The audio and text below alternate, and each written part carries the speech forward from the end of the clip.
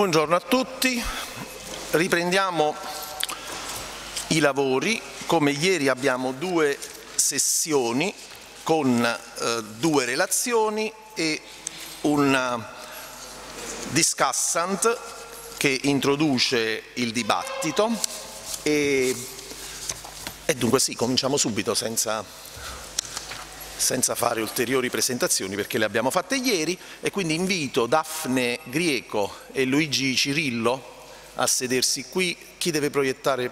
Non so se lei proietta, eh, però parla prima Cirillo. Cirillo proietta? Parlo prima io. Ah, ok, ha ragione. E allora va benissimo così.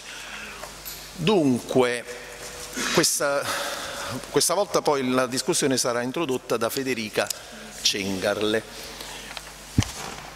Dunque, Daphne Grieco ci parlerà di questo, una pasta che ne mangiariano li pavoni, indagini preliminari su di una congiura ai danni di Galeazzo Maria Sforza. Prego.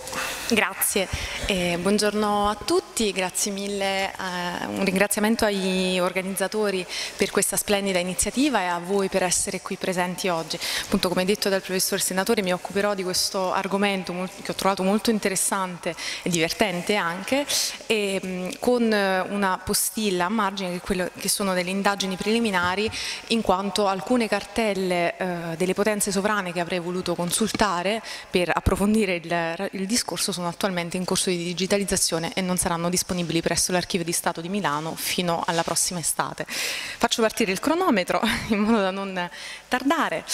E dunque, come tutte le cose iniziano spesso con lettere, anche io oggi vi propongo una, una lettera scritta da eh, Galeazzo Maria Sforza a Francesco Maletta nel maggio del 1474 e che rappresenta un po' il culmine, uno dei momenti cruciali di questa presunta congiura, come poi vedremo. Dunque, Ricordandone quanto ne scrivesti altre volte per tue lettere de uno Francesco de Alexandri da Scisa, creato che fu da domino Antonio da Pesaro, è accaduto nuovamente che uno spagnolo chiamato Francesco da Castignale, venendo da noi ad la improvvisa e facendo prova per due volte di volerne toccare la mano, avendo alla mente dicte tue lettere e dubitando non fosse quello Francesco che tu ne scrivi, avevamo onestamente sopratenuto perfino che abbiamo risposta da te di questa nostra lettera. Lui dice essere venuto venuto qui per darne certi avvisi per l'util nostro. Dicto Francesco, venne a Roma con lettere del, re a Messeranello e con lettere di Don Zoanne ad uno vescovo asentino de Spagna, quale te mandiamo qui allegate. Lui dice non aver trovato a Roma Messeranello e in effetti eh, Agnello Arcomune è eh, in questo periodo a Napoli come abbiamo visto nella, nelle presentazioni della giornata di ieri per incontrare ehm, Federico da Montefeltro. Um, per la qualcosa volimo che più subtilmente e diligentemente che porrai te informi chiaramente nel stato, grado, fama e condizione del dicto Francesco. E se verisimilmente puoi avere immaginazione nel sospetto per le informazioni che averai che fosse venuto a qualche male effetto e per perpetrare qualche male e similmente se è quello Francesco del quale si fa menzione nelle predicte tue lettere, volimo adonca che subito e volando ne avvisi minutamente e particolarmente di tutto per modo che restiamo ben chiari di quanto avevamo dicto.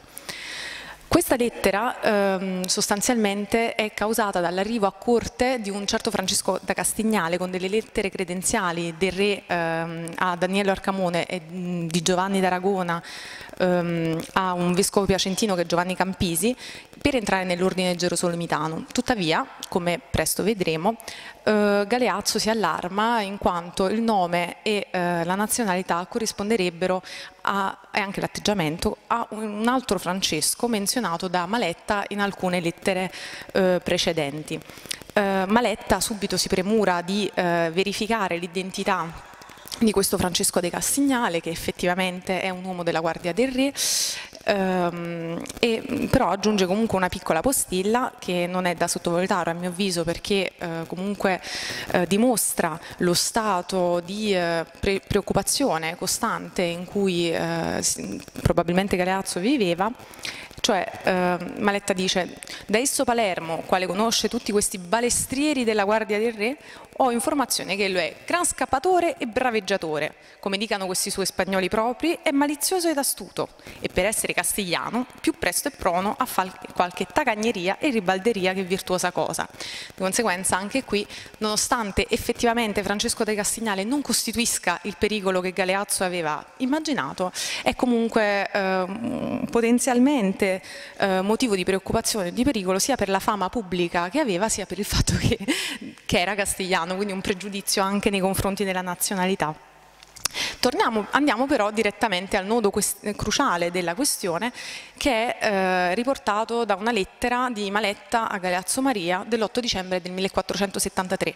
Maletta, dopo aver parlato con Palermo di Palermo, eh, che era il connestabile dei Fanti del re di Napoli, ehm, ri, diciamo, riesce a entrare in contatto dopo sei giorni di lunghe trattative con un certo Diego di Lison, che era un castigliano, uditore di camera, uomo d'arme, attualmente al servizio del re, del quale dice anche che si accontenta molto male, ehm, e del quale diciamo, sappiamo che aveva servito sotto Filippo Maria Visconti e Francesco Sforza. Questo Diego de Lison avrebbe incontrato sulla via da Firenze per Napoli un personaggio non identificato attualmente chiamato Francesco di Alexandri da Scisa o Sissa. Questa doppia versione diciamo, del, del, del, toponimo è data dalla diversa grafia con cui è riportata nelle varie lettere. E, ehm, egli probabilmente diciamo, questo, il cognome di Alexandri, il patronimico di Alexandri fu, può far pensare forse alla famiglia dei D'Alessandro, sebbene comunque di solito vengano citati o come De Alexandro oppure come Alexandri, quindi questo è un po' un mix delle due cose. Eh, mentre il toponimo Scisa lascerebbe pensare a una piccolissima frazione dell'attuale comune di Cademario in Svizzera, ma che al tempo faceva parte del territorio del Ducato milanese. Più probabile, a mio avviso, invece è una corruzione del nome Sissa, che è una località nel Parmense governata dai terzi di Sissa, dal quale forse potrebbe provenire. Ma ad ogni modo Francesco di Alexandri sappiamo che fu creato eh, cavaliere da Domino Antonio De Pesaro che era il um, pagatore delle truppe sforzesche nel regno. Quindi eh, almeno così mh, mm, riusciamo a collocarlo come un uomo dalla probabile origine lombarda eh, che aveva comunque combattuto nel regno.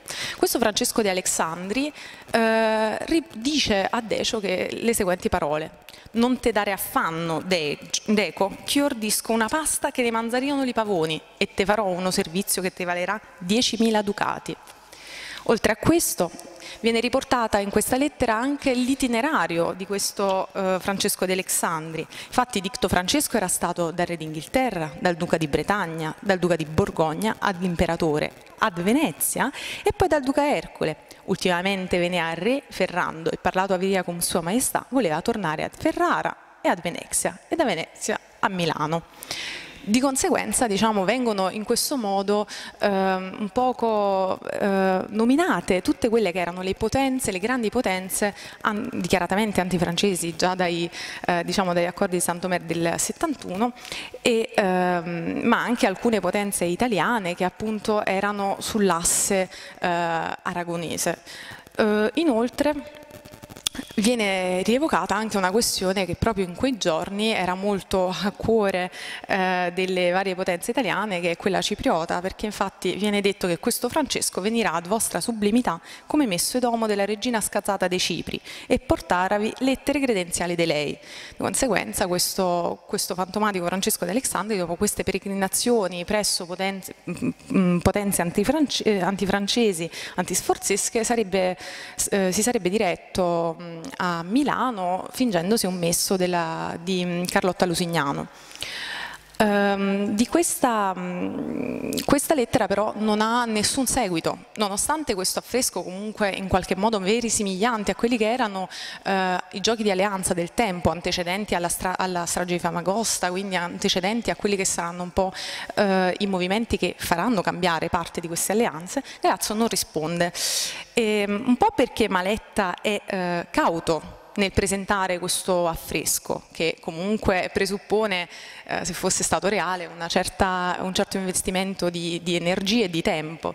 Dall'altro lato, proprio negli stessi giorni in cui la lettera è ricevuta da Galeazzo, arriva la notizia, la, per la prima volta la notizia della strage di Famagosta, e eh, tutto il carteggio di Maletta e Galeazzo in questo periodo è incentrato sulla Bastina del Panaro e in particolar modo che peggiora tutto il rapporto perché eh, arrivano a mm, Galeazzo due lettere eh, di Ferrante con delle informazioni diverse, cioè Ferrante in una lettera prende una posizione molto più favorevole e conciliante nei confronti di Galeazzo, nell'altra invece eh, molto più distante e diciamo addirittura chiede a Maletta di leggerle a corte. Uh, quindi viene meno anche la fiducia del re di Napoli e queste sono penso uh, dei, uh, delle situazioni molto più imminenti e molto più forti per questo momento che fanno sì che forse la lettera passi un po' inosservata. Tuttavia Galeazzo legge la lettera e Galeazzo ricorda la lettera perché nell'8 dicembre del 1473 quando appunto Francesco viene a corte ehm, sostanzialmente ehm, questo Francesco de Alexandri eh, eh, scusatemi, quando eh, Francesco da Castignale arriva a corte compie una serie di gesti e viene fatto subito eh, mettere in custodia. Queste questa prassi si trova già, cioè questi eh, avvisi eh, si trovano già nella lettera di Maletta del 73 in cui invitava eh, Galeazzo alla cautela. Infatti appunto, eh, come dicevamo, questo Francesco vabbè, verrà come messo della regina scazzata di Cifro e portarvi lettere credenziali di lei che vostra signoria non le accetti né, le tocchi, né tocchi la mano di lui vostra Eccellenza deve già fare pre prendere e farlo confessare ciò che va tramando, quindi non si deve far toccare e lo deve mettere subito eh, in prigione per farlo confessare. Ed effettivamente Galeazzo fa proprio questo perché quando, quando, Francesco da Castignale si presenta, eh, innanzitutto si, pre si, presenta ad la improvvisa, senza, nessun, senza, essere annunciato, quindi venendo da noi alla improvvisa e facendo prova per due volte di volerne toccare la mano, quindi prova due volte a toccare la mano di Galeazzo. Toccare la mano è anche un gesto che è presente nelle cerimonie eh, di incontro con gli ambasciatori, però evidentemente in questo caso sia perché il personaggio non era un personaggio né annunciato né noto e eh, ricordando la lettera di, di Maletta, Galeazzo si, si preoccupa. Eh, infatti, avendo alla mente dicte tue lettere e dubitando non fosse quello Francesco di che tu ne scrivi, abbiamo onestamente sopratenuto perfino che abbiamo risposta da ti di questa nostra lettera. Quindi esegue pedissequamente le istruzioni di Maletta. Um, questa attenzione da parte di Galeazzo a questi dettagli non è casuale, perché eh, come sappiamo la sua vita è incorniciata un poco da due avvenimenti, due attentati che in un caso eh, lui riuscirà a scampare, cioè quello presso l'abbazia di Novalesa ad otto giorni dalla morte del padre Francesco e il secondo che invece lo condurrà alla morte, una congiura ben più nota di, di, questa presunta. Ma nel 73 in realtà succedono altre cose che eh, minano un po' la sicurezza di Galeazzo. Nel 73 infatti eh, Galeazzo scrive a Maletta che Carlo da Faenza manda continuamente messi in Borgogna, in Savoia, tramando contro di lui e anche da Recepto a Ioan Galeazzo da Campofregoso, che era un fuoriuscito genovese. E, um, pochi giorni dopo, ah, in, tutto ciò Carlo da, Faenza, Carlo Manfredi da Faenza, eh, nel, nell'estate dello stesso anno soggiornerà a Napoli per tre settimane ed è al soldo di eh, Ferrante.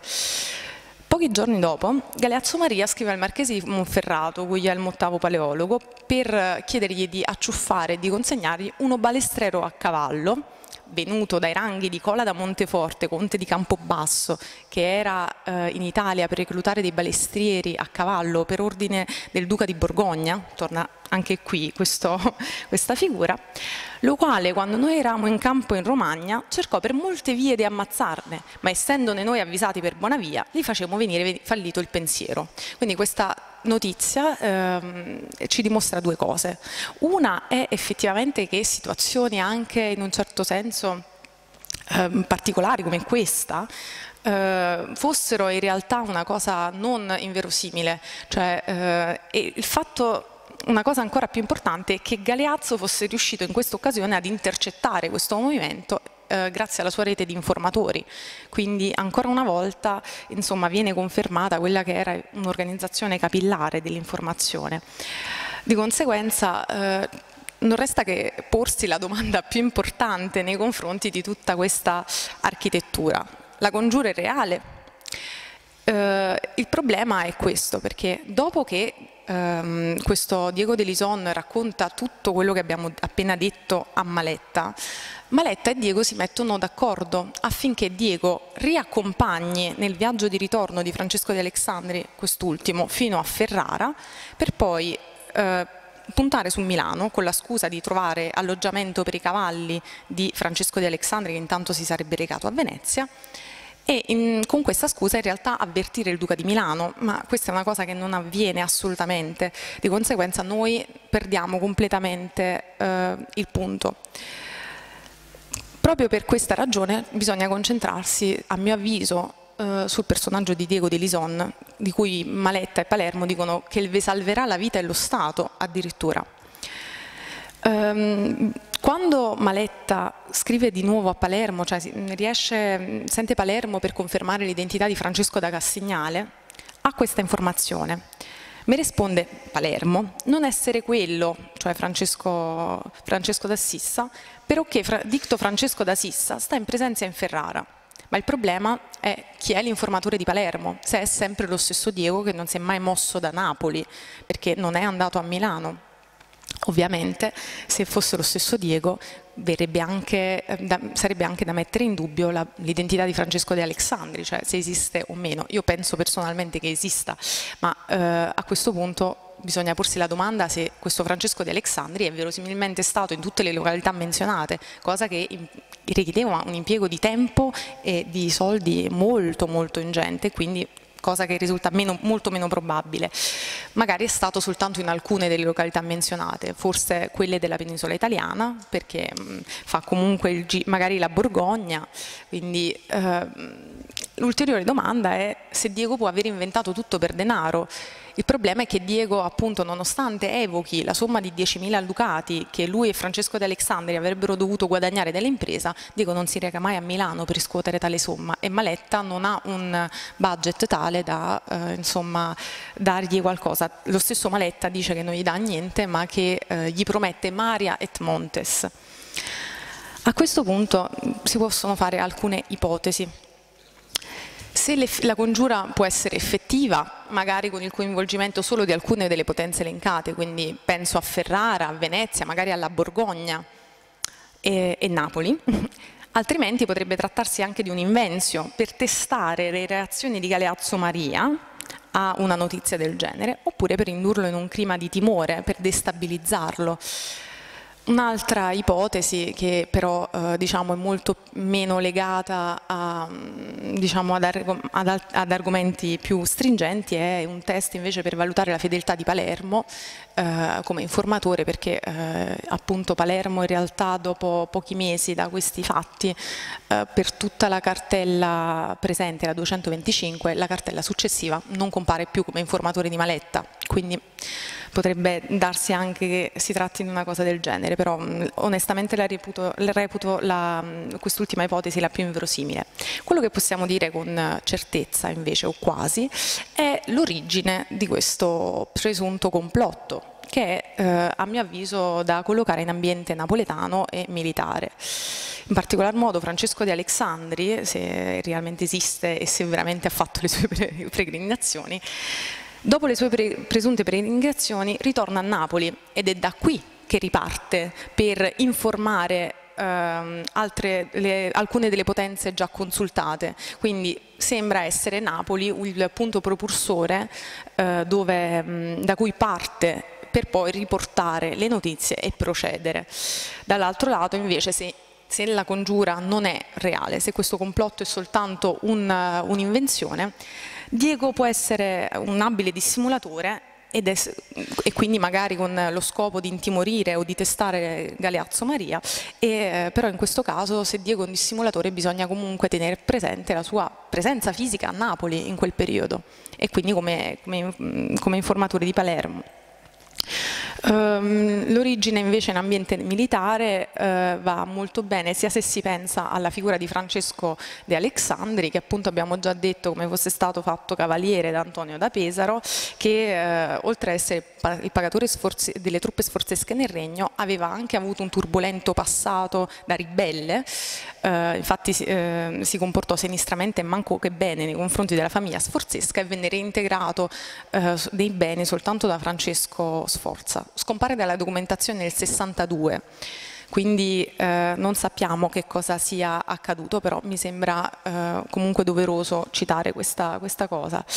Eh, inoltre anche Delison proviene dallo stesso ambiente militare, come abbiamo detto.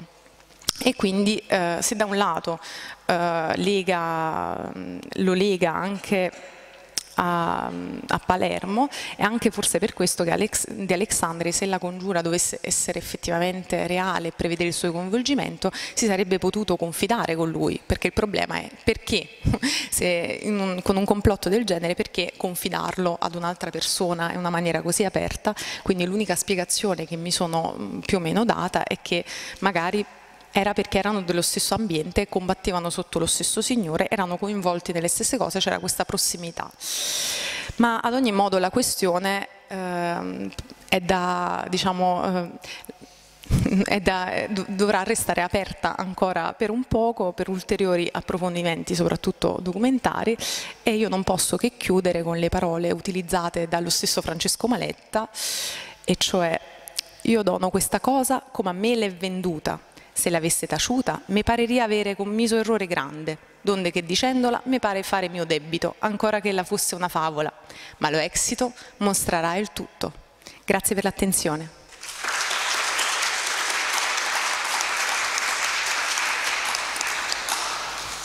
Grazie a Daphne Grieco. Abbiamo sentito intrecciarsi nella sua esposizione due indagini poliziesche, quella dei, di Maletta e di Galeazzo Maria sulla presunta congiura e quella di Daphne Grieco sul motivo per cui eh, si, eh, si, queste cose vengono dette, sulla effettiva realtà della congiura. Naturalmente le congiure vere sono quelle che riescono, quelle che non riescono sono sempre difficili da, da identificare, eh, soprattutto eh, in una documentazione di, di, di, questo genere che per sua natura non può essere completa, nel senso che probabilmente notizie di questa persona sono sparse poi nelle, nelle corrispondenze appunto di, di, tutti i luoghi che queste persone avrebbero o non avrebbero toccate. E, e quindi comunque complimenti, è interessante, ci sono sicuramente elementi da dibattere per cui non, non, non perdo tempo ora a fare le mie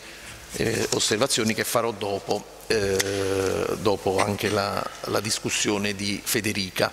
Dunque passiamo a Luigi Cirillo, il titolo della sua relazione è Li gesti et le parole, il teatro politico alla corte di Ferrante d'Aragona.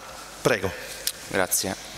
Allora, buongiorno a tutti, grazie per l'invito, grazie per la presenza. Il mio, il mio, scritto che ehm, titola I gesti e le parole, il teatro politico alla corte di Ferrante d'Aragona cercherà di dare uno sguardo a quella che era la prassi politica alla corte di Napoli ponendo l'accento principalmente su eh, determinati eh, elementi, quali potevano essere gesti, quali potevano essere parole, quali potevano essere reazioni emotive e quant'altro.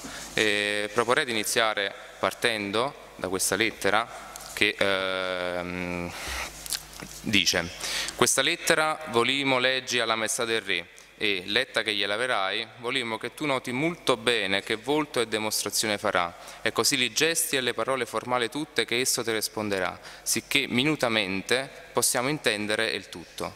Queste le parole con cui eh, Galeazzo Maria Sforza, Duca di Milano, in una sua del 5 novembre 1473, notifica al suo ambasciatore a Napoli, Francesco Maletta, quanto fosse indispensabile per la corte milanese eh, che l'oratore nel riportare eh, notizie al suo signore prestasse attenzione alle reazioni del re, in particolar modo alle sue espressioni facciali, in modo da poterle poi riferire eh, minuziosamente, sicché minutamente possiamo intendere il tutto. Una richiesta tanto più pregnante se letta alla luce della difficile situazione politica peninsulare che vide non soltanto le due corti contrapporsi fin quasi alla guerra, ma anche la stessa pace d'Italia messa in bilico. Ma cosa muoveva questa necessità? Perché lo Sforza sentiva così forte il bisogno di intendere minutamente le espressioni e le reazioni dei re di Napoli? E la risposta a questo quesito cercherà di essere diciamo, il fulcro di questa ricerca. Diverse erano innanzitutto le questioni che ponevano sul filo del rasoio i rapporti tra le corti di Napoli e la corte di Milano. C'era la successione del Regno di Cipro, in cui l'ingerenza di Venezia era appoggiata da Milano, mentre invece anche il Regno di Napoli aveva cercato di dire la sua, proponendo il matrimonio tra Carlotta, figlia del defunto sovrano del Risola, eh, Re Giacomo, e un bastardo del Re Ferrante. C'era poi la rottura dei rapporti tra Napoli e la Serenissima, iniziati nel 1471, ma che intanto avevano scontentato non poco eh, Galeazzo. C'erano poi i sempre più crescenti, ma soprattutto meno nascosti, rapporti e legami tra Milano e la Borgogna e poi c'era la cosiddetta crisi della Bastida del Panaro.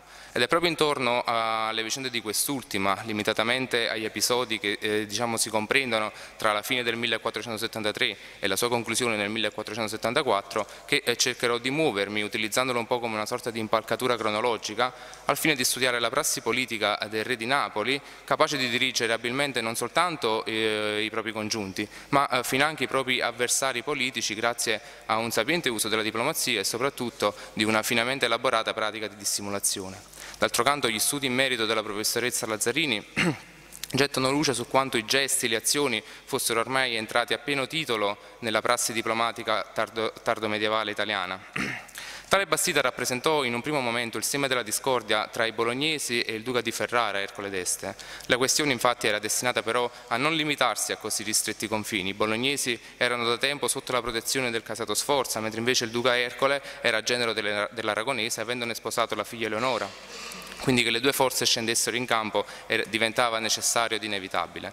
A tal proposito eh, apprendiamo dagli annali della città eh, di Bologna che gli screzi tra i bolognesi e il duca d'Este iniziarono già nel 1471 a causa della Bastida del Panaro. Inizialmente una costruzione in legno voluta proprio dai bolognesi al confine con le terre delle Stenze, genero e protetto del re di Napoli, veniva poi fatta fortificare e fare in pietra col beneplacito e il supporto di Galeazzo Maria Sforza. La questione scontentava non poco Ferrante, il quale allorché si celebrarono le nozze tra sua figlia e il duca di Ferrara non tardò a mostrare il suo volto con Ippolita Maria Sforza. Questa infatti era sì moglie del figlio Alfonso, ma era anche sorella dello stesso Galeazzo. E ce ne dà notizia Maletta in una sua lettera del 5 novembre 1473, nella quale riferisce del colloquio con la suddetta Madonna. Infatti i due venivano in razonamento dell'alterazione e impazienza mostrato il re della Bastita, allegando questo essergli troppo duro ad comportare perché il duca Ercole ha sua figliola in casa. Diversi sono gli aspetti di questa brevissima missiva importanti ai fini di questa ricerca. Innanzitutto la scelta degli interlocutori. Il grado di parentela acquisito con Ippolita permetteva al re un parlare che si svincolasse dai canoni formali che avrebbe dovuto tenere con la sforza. Tuttavia egli rappresentava comunque un canale di comunicazione in diretta col Duca di Milano e quindi tramite il quale mostrare la sua indignazione. Pertanto diventava una pedina importante sulla scacchiera diplomatica del sovrano. In secondo luogo c'è l'alterazione e impazienza mostrate dal re una volontà di sbilanciarsi e di rendere palese la propria disapprovazione che si evidenzia più palesemente in un'altra lettera, sempre del Maletta, ma datata 2 novembre 1473.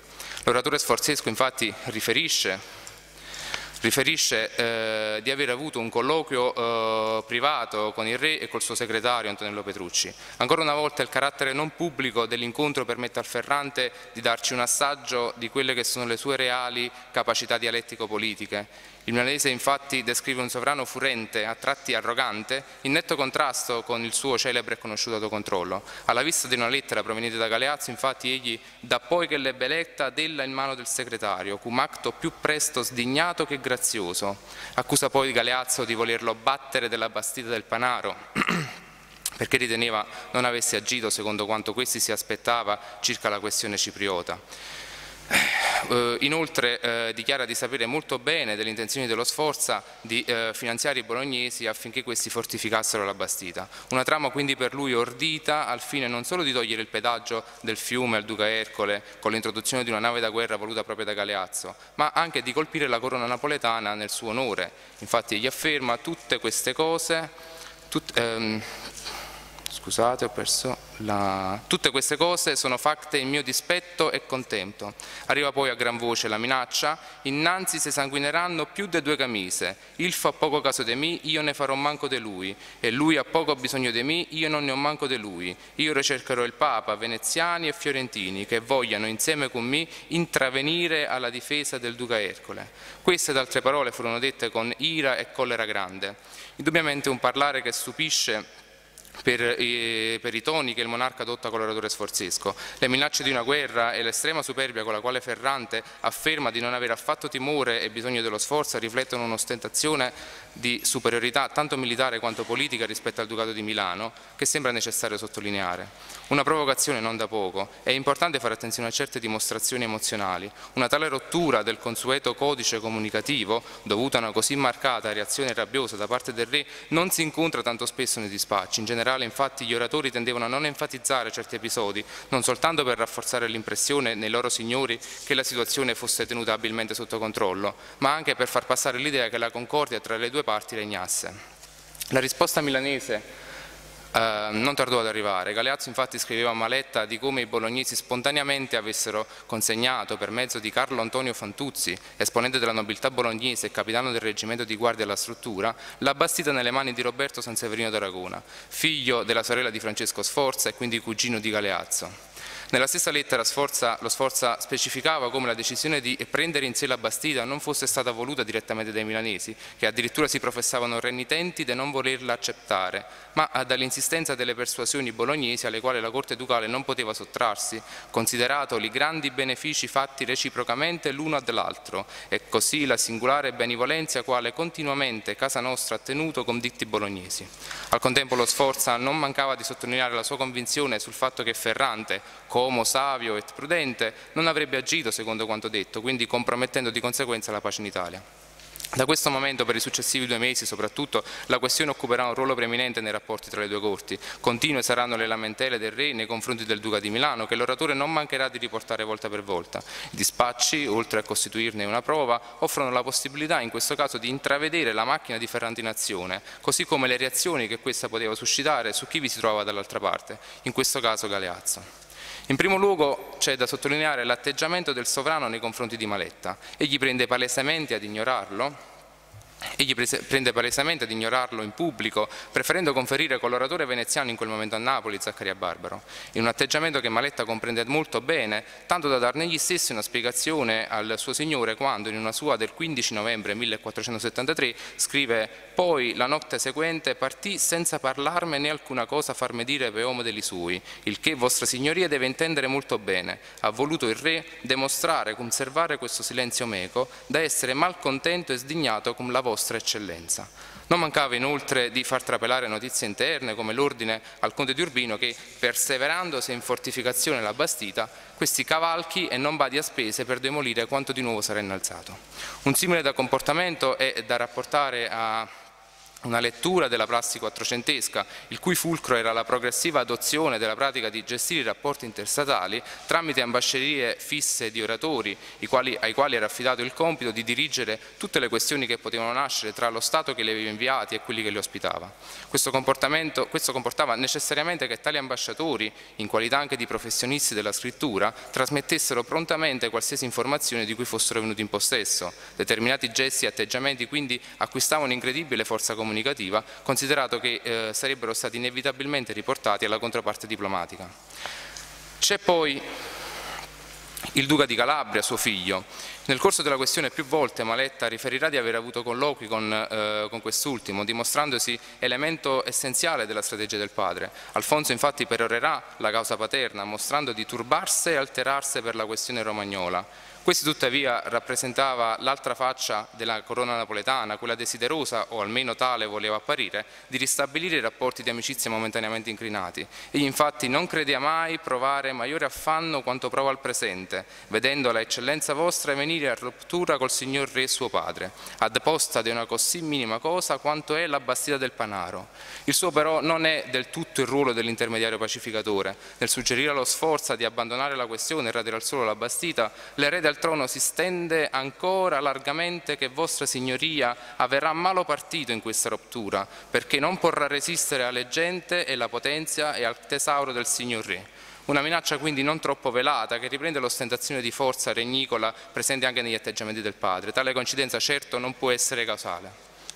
Alfonso non fu il solo della famiglia reale a dire la propria, sempre in linea con quella del padre. Voci ostili a Galeazzo arrivavano anche da Ferrara per mezzo di Eleonore e di suo marito Ercole, i quali fortemente incalzavano il re. L'estenza infatti si diceva incredulo del fatto che da quando credeva di essere riguardato, essendo genero del re di Napoli, vedeva invece la sua posizione peggiorare. Questo perché il signore di Milano si stava spingendo a tanto proprio per scontentare il sovrano di Napoli. Chiedeva poi a gran voce che la bastita fosse demolita, notizie che non mancarono di arrivare all'orecchio di Maletta. Insomma, una strategia probabilmente architettata col preciso scopo di fare in modo che le notizie negative non giungessero soltanto da una sola voce, quella del re, ma venissero frammentate tra le varie fonti che in maniera più o meno diretta pressavano il milanese. Dopotutto per il sovrano partenopeo mantenere un certo codice comunicativo rimaneva un elemento necessario.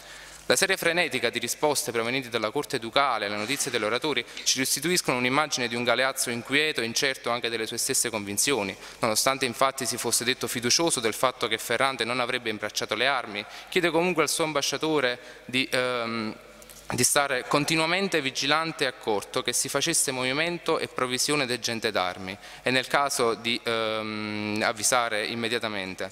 Ancora, e qui ritorniamo al punto di partenza dalla quale è partita tutta questa analisi, chiede di prestare estrema attenzione alle reazioni e alle espressioni del re, per meglio comprenderne le intenzioni. Esortava inoltre l'ambasciatore a non aprire mai per primo l'argomento della Bastita e qualora ci si fosse ritrovato, per ragionamento d'altri, avrebbe dovuto rispondere sobriamente e con belle parole, quale non esprimono troppa gagliardezza neanche dimostrazione di timore né paura.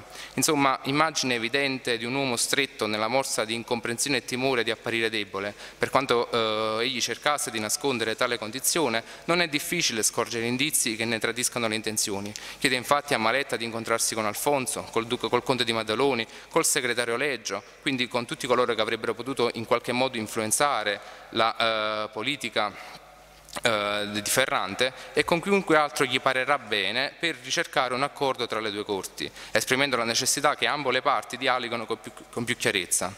La ricerca di rassicurazioni spinge, eh, lo spinge a mandare Maletta addirittura da Diomede Carafa, braccio destro del re, alla ricerca di una conferma dell'affetto e della stima da parte di Ferrante. Proprio il Carafa infatti affermerà se tu o lo Signore tuo avete opinione che il re estimi e ami più il duca Ercole che il duca di Milano, siete in grandissimo errore perché è il contrario. Insomma, messaggi contrastanti che impedivano alla Corte di Milanese di eh, avere una chiara lettura delle intenzioni della controparte. D'altro canto lo stesso Maletta metteva bene in guardia il suo signore dal, eh, dal soppesare bene eh, le lettere di Ferrante, preoccupato com'era che Sua Maestà non sia stato costante in questo suo proposito di riconciliazione che si profilava all'orizzonte poi del 1474.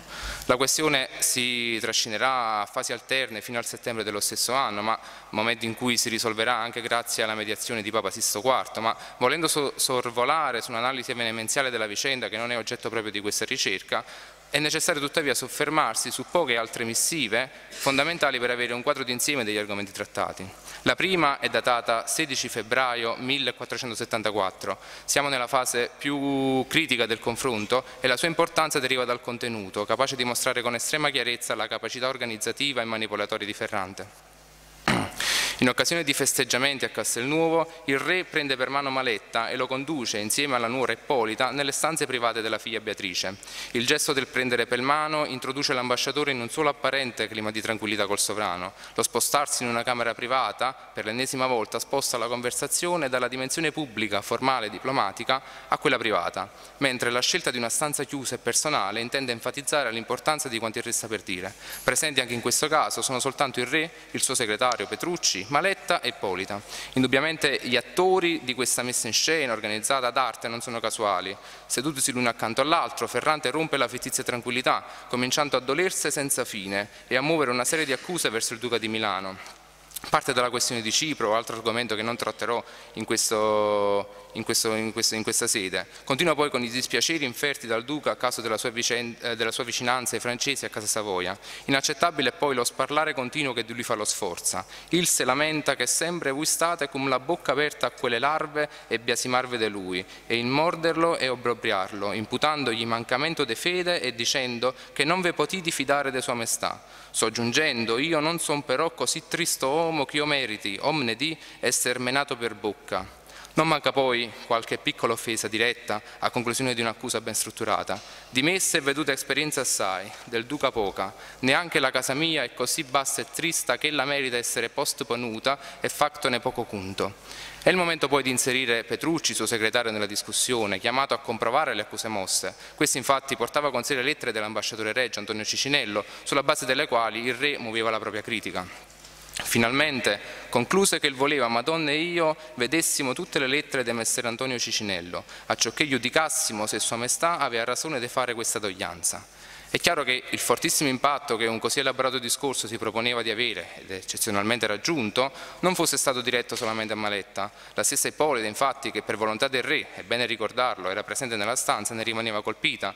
Tant'è vero che eh, Madonna, vostra sorella, udendo così longa e grave querela, rimase tutta sbigottita e dolente e con poche buone parole si sforzò di placare l'ira e la collera del re. Il secondo atto è il coronamento di una sceneggiatura studiata a dovere. Dopo essersi congedato dal re, infatti, l'ambasciatore riferisce di incontrare per sua ventura il duca di Calabria, il quale, parimenti al padre, fece una stampita, dolendosi de vostra eccellenza che avesse dicto come Antonio Cicinello che quanto io abbi scritto questi ti passati de sua commissione a vostra signoria sia artificioso e fraudolento e che tutte erano inventive e modi del re per aggarbare vostra celsitudine. Unde, dice esso duca, non fu mai suo costante a garbare nessuno, maxime notale signore come voi siete, e suo cognato, e che da mo' innanzi né di questa né d'altra cosa vostra se vuole impazzare. Ecco quindi l'ultima carta eh, di Fernande, giocata col preciso scopo di portare Maletta allo sfinimento, tant'è vero che questi, dopo avergli esposto con bello modo, si spizzai dalle mani sue.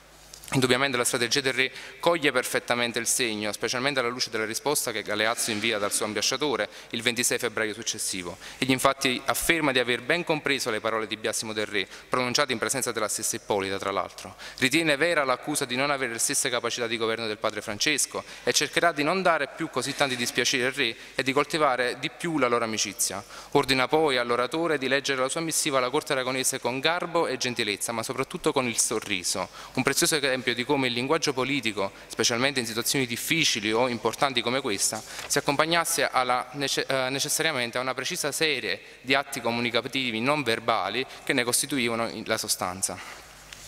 Arriviamo così al giugno del 1474, la questione è sulla via della sua risoluzione definitiva, gli animi si placano. Ferrante abbandona il suo animo eroso per tornare a essere il sovrano morigerato di Napoli. Cambia radicalmente anche il suo modo di porsi nei confronti di Maletta e di riflesso del Duca di Milano. A tal proposito due sono le lettere che in maniera più chiara dimostrano questo repentino cambio di rotta.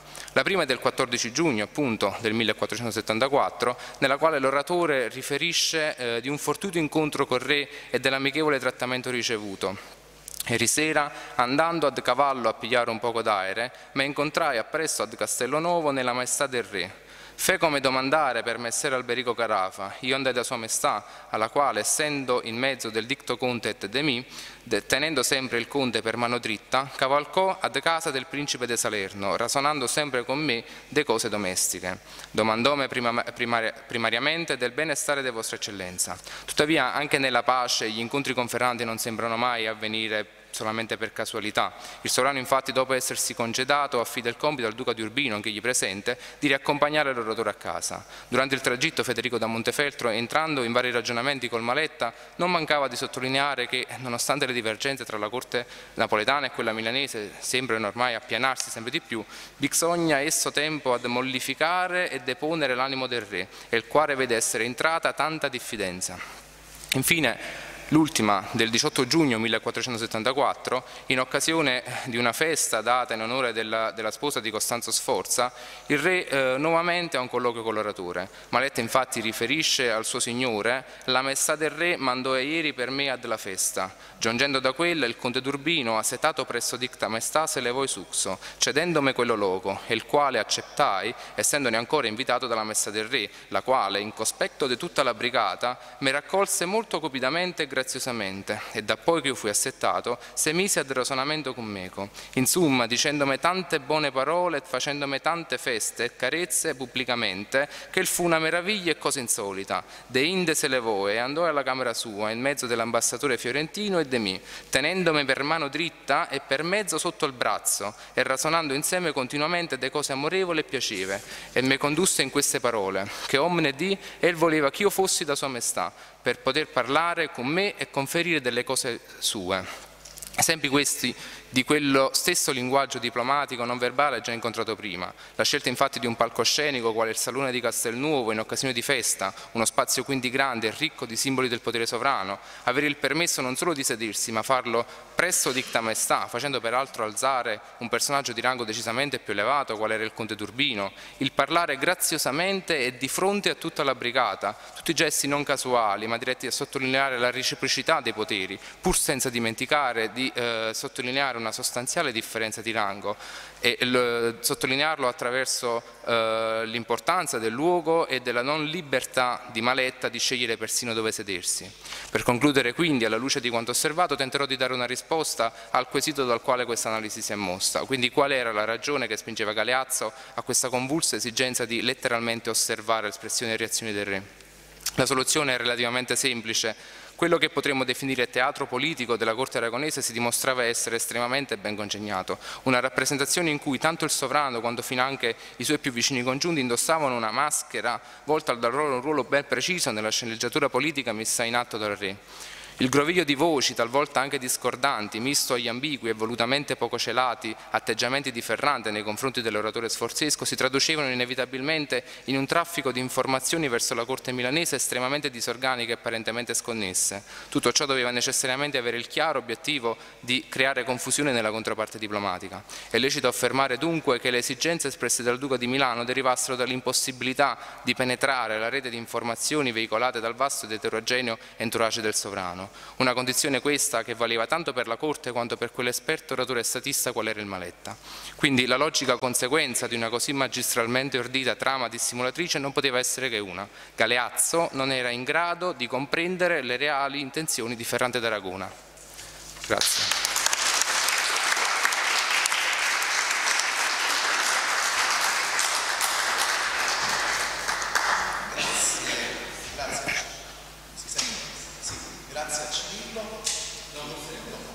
Ah, ecco qua.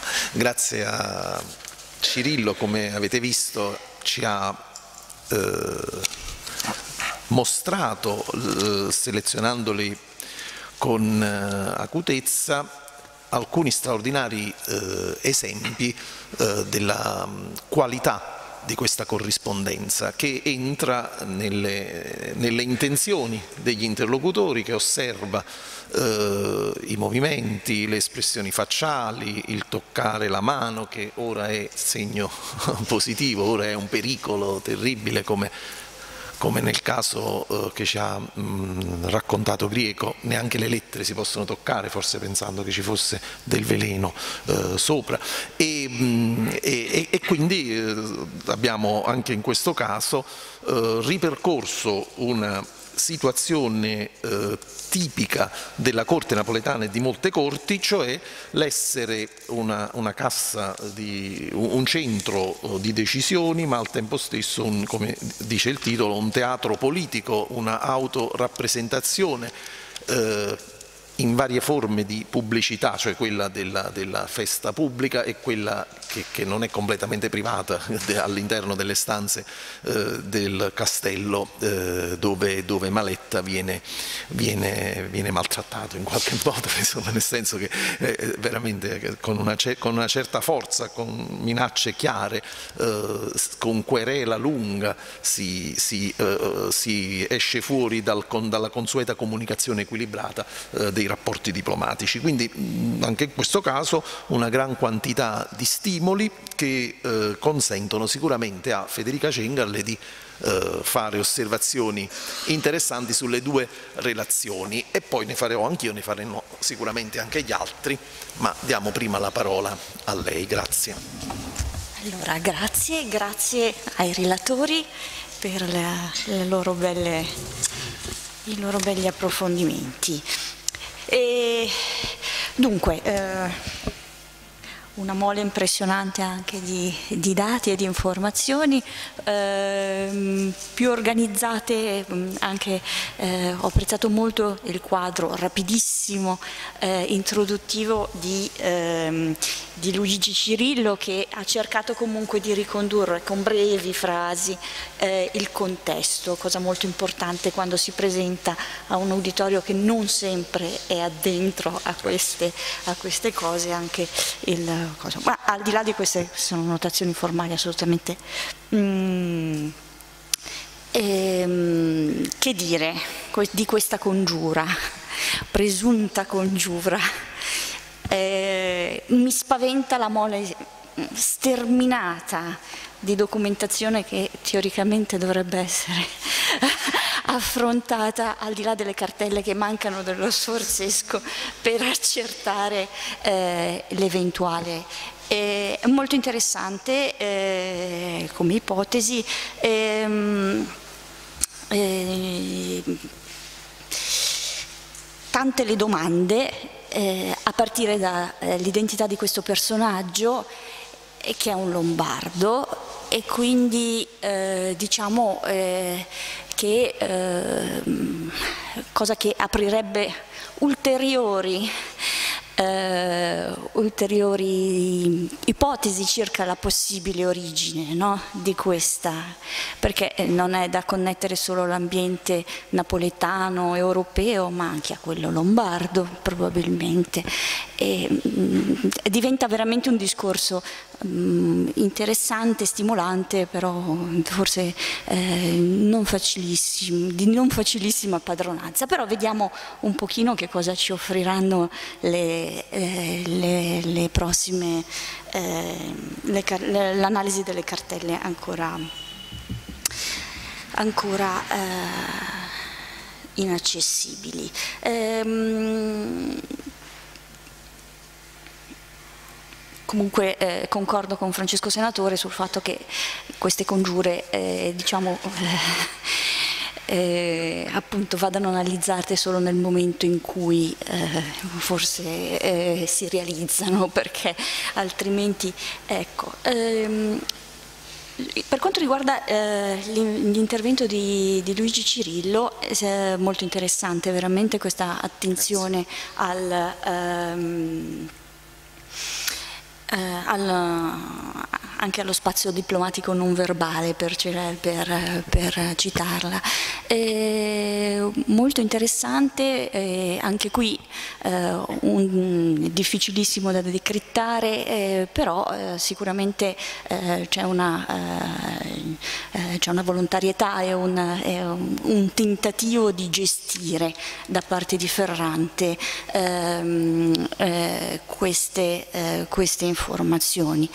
Al tempo stesso, anche alla luce delle suggestioni che erano venute ieri dall'intervento di Armida Toraldo, bisognerebbe capire anche quanto di, queste, eh, di questo eh, meccanismo che lei attribuisce a Ferrante giustamente, eh, veda però anche la partecipazione dello stesso Maletta. No? E sullo sfondo anche di Isabella cioè il tentativo forse di... Hm? Eh, sì, scusate, scusate, di Ippolita, eh, cioè il tentativo proprio di eh, eh, condurre anche Gian Galeazzo, eh, Galeazzo Maria, ecco io oggi proprio con i nomi, ehm, di condurre eh, Galeazzo Maria laddove forse ehm, si, mm, laddove si voleva, ecco, eh, in cui non è solo Ferrante l'unico, magari l'unico attore, cioè eh, vedere, esplorare questa possibilità, no? cioè che sia eh, un'azione non concertata, però comunque in cui, ehm, non so, mm, un'ipotesi ecco, di, di, lettura, per quanto appunto eh, sicuramente appunto, il ricorso a queste espressioni verbali, ehm, a questi a questa gestualità ecco, eh, caricata eh, sia chiaramente eh, uno strumento politico anch'esso, no? politico diplomatico. Ecco, queste sono soltanto le osservazioni, mm, comunque eh, davvero interessante proprio come, anche come traccia di ricerca e mi conferma che appunto partendo comunque da un'unica eh, Beh, da questa cartella, eccetera, ognuno di voi ha trovato strade eh, autonome, diverse e, e, anche originali, insomma, di lettura che... Ecco. Vogliamo far... Non so, volete rispondere? Volete aggiungere qualcosa? Ma tu hai finito? Sì, sì. Volete aggiungere qualcosa? Vai, poi la professoressa? Eh, no, allora sì, assolutamente la documentazione da consultare, eh, da un lato sì, queste famose cartelle dell'archivio di Stato, di, de, delle potenze sovrane e del carteggio interno soprattutto, ma dall'altro lato anche una serie di notizie invece molto più sparse. Vorrei andare in archivio a Ferrara per cercare di eh, capire se c'è qualcosa lì perché è un punto eh, cruciale. E il problema è sempre relativo all'origine di questo Francesco perché in realtà Sissa, se fosse veramente Sissa nel Parmense che è una zona diciamo di confine eh, e, um, il problema sarebbe ovviamente diverso, però è anche lì, um, cioè se poi questi movimenti sono reali, serve comunque una forza economica e temporale, cioè di tempo dietro. Certo. Quindi anche se sicuramente questa è una cosa che credo, se la congiura è reale sicuramente intercetta dei malumori di quelle aree eh, però il problema è che Scusi, dei, eh, di quelle aree, sì.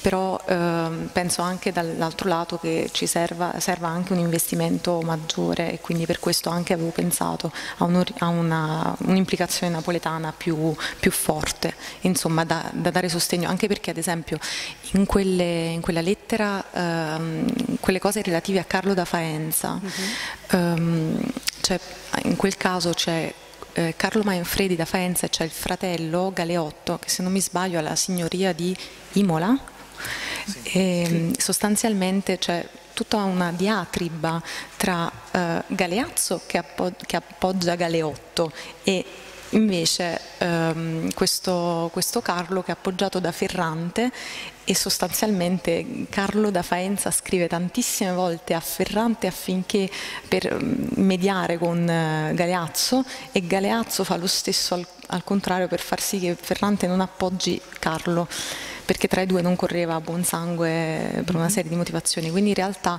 anche da una realtà molto piccola ma romagnola e quindi un'area piena di conflitti, in realtà c'è questa sorta sempre di guerra fredda in un certo senso tra le due potenze, quindi se effettivamente Galea, ehm, Francesco de, ehm, Alexandri è da, da Sissa, dei, dove ci sono i terzi di Sissa, effettivamente può darsi che sia in dinamiche di questo tipo, però è da... Sì, sì. Insomma, devo, devo lavorare molto ancora. Sicuramente. Sì, eh, circa la, la questione che non fosse soltanto Ferrante a veicolare le notizie che arrivavano in qualche modo a Maletta e quindi di conseguenza anche a Milano. Anche studi recentissimi del professor Sorti hanno dimostrato come tutta la corte eh, diciamo, napoletana partecipasse a questa, a questa opera di, di, diciamo, di, di, veicolazione di informazioni. Quindi sì, sarebbe anche interessante andare ancora di più a scavare quelli che sono gli effettivi ruoli, magari anche decisi, di ogni singolo personaggio che dovevano avere come diciamo, specchio rispetto a Maletta e rispetto a Galeazzo. Sì, questo eh, senz'altro è poi emerso molto bene. L'unica cosa che, eh, che il mio invito era di parte, diciamo, era soltanto, era soltanto quello di considerare sempre una dinamica lombarda che non è così coerente e eh, diciamo eh, attorno all'azione del duca mm? e che sia nell'uno che nell'altro, nell'altro caso potrebbe essere intervenuta non come promotore, hm? Perché, ma comunque come eh, ecco, mh, coinvolta e, eh, come attore, attrice, partecipe, ecco, solo questo, perché, appunto, anche perché la congiura definitiva contro Galeazzo Maria. È eh, milanese. Sì, posso, se posso aggiungere, sì, eh, tra l'altro io nota, si nota, e questa magari può essere una prima domanda a Cirillo, ma anche agli altri che hanno letto la stessa documentazione, si nota nel, leggendo le lettere spedite da Milano, eh, che sono spedite da Pavia perché eh, Galeazzo Maria sta a Pavia, mentre Cicco Simonetta spesso uh, sta a Milano, quindi si crea anche lì una... e anche Cicinello spesso sta a Milano e va a Pavia quando deve parlare con il Duca, dunque eh, come diceva anche la, la Grico eh, bisogna vedere il carteggio interno perché ci sono lettere che sono state messe lì ma che riguardano, i, che, che è una cosa che non capita a Napoli, nel senso che noi non abbiamo a Napoli la lettera dell'ambasciatore al re, mentre nel carteggio interno di Milano troviamo le lettere di Cicinello al re, di Cicinello a Simonetta, di...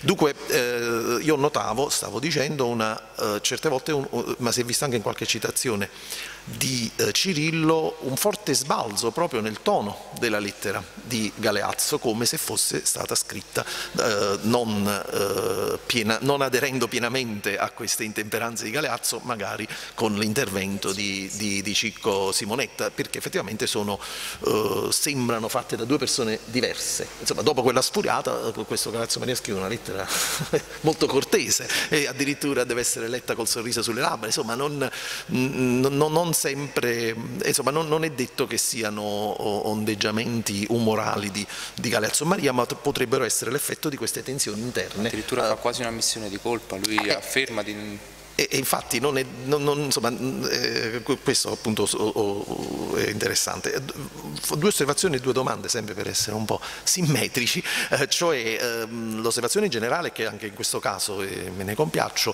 i due interventi eh, sono molto, mh, mm, si, si, sono trovati eh, in, molto organicamente collegati perché in sostanza eh, manifestano due episodi indagati con, con attenzione di una eh, rottura di fiducia, perché eh, eh, questo è, eh, succede in questi mesi, eh, di una rottura di fiducia che rende insicuro l'intera eh, rete di relazioni personali e, e, e, non tra le due corti che invece da una ventina d'anni e più sono intensamente collegate. E questo provoca una difficoltà eh, di lettura di tutti questi segni, di tutti questi segni comunicativi, le parole, le lettere, eh, i gesti, le mani, gli sguardi.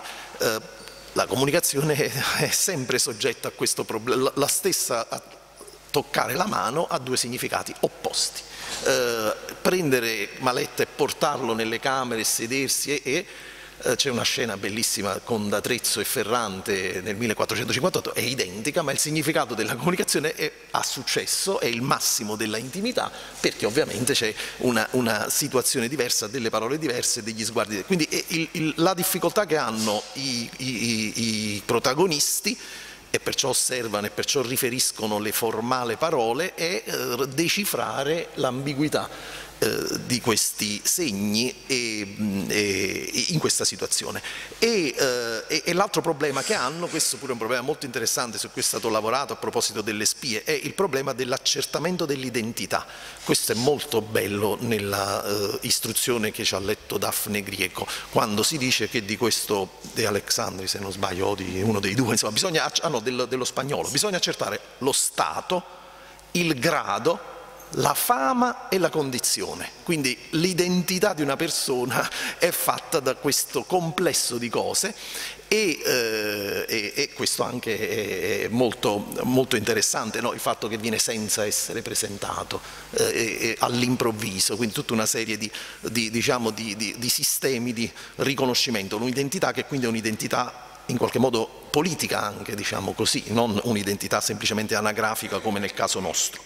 Eh, le due domande, una è eh, a eh, Daphne Grieco, una curiosità perché non capisco come possa Antonio da Pesaro fare cavaliere di Alexandri, cioè dove, da dove viene questa informazione? Perché è impossibile che una persona come, no, non è possibile, eh, uno può essere fatto oh, cavaliere eh, in certe situazioni eh, a opera del re, del, dell'imperatore o sul campo ma sempre da un comandante, non, non lo so, ecco, le chiedevo dove ha preso questa informazione. Là invece per, eh, ma questo riguarda un po' tutte e due, ma insomma in particolare Cirillo, come Cirillo ha distinto bene i contesti in cui Ferrante manifesta o la sfiducia o invece diciamo, la, la gratificazione nei confronti di Maletta, eh, gli chiedevo se non pensa di distinguere un po' meglio questi spazi della Corte rispetto all'opposizione che ha usato di pubblico e di privato, che mi sembra troppo netta, diciamo. Eh, io direi sono tutti pubblici, però non, non sono tutti pubblici allo stesso modo, però appunto volevo vedere che ne pensa.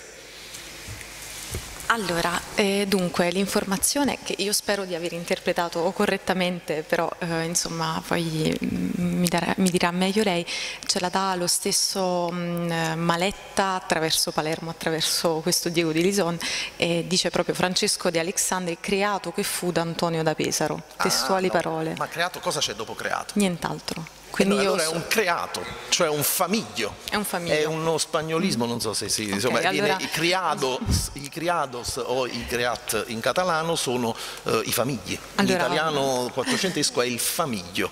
Uh, ed, ed, è bello però che la parola sia usata da un milanese, perché certo. la usa a proposito di una... E, e non, Antonio da Presaro non avrebbe detto che era suo creato, sì, avrebbe sì, detto sì. famiglio o servitore. Okay.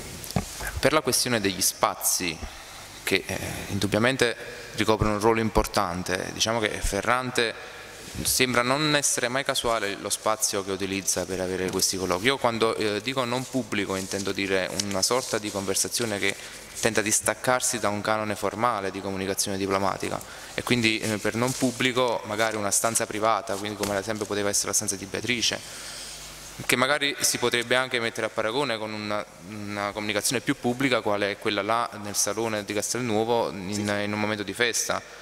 E quindi di conseguenza anche l'importanza, di incontrarsi eh, nei pressi di Castelnuovo quando si incontra a cavallo, eh, l'importanza di trovarsi tra, eh, tra, il duca e il re, quindi la posizione che, che Ferrante anche attribuisce a Maletta sì, sì, no, ma è, lei ha distinto bene, eh, diciamo, la mia osservazione è che sembrano tanti gradi di pubblicità, eh, nel, nel, nel senso che è comunque uno spazio pubblico di comunicazione e il fatto che eh, una persona venga accolta nelle stanze è un'informazione che passa, lo vengono a sapere tutti, quindi è già un, eh, anche quella passa ancora di più importante se quello si siede a fianco durante la cerimonia, eh, cioè è, è, è, la difficoltà di usare queste due opposizioni eh, nostre, chiare, di privato e di pubblico, in una corte che, eh, che fa di tutto il privato e il pubblico, insomma da un certo punto di vista come facciamo in modo un po' diverso noi oggi attraverso i social. Diciamo.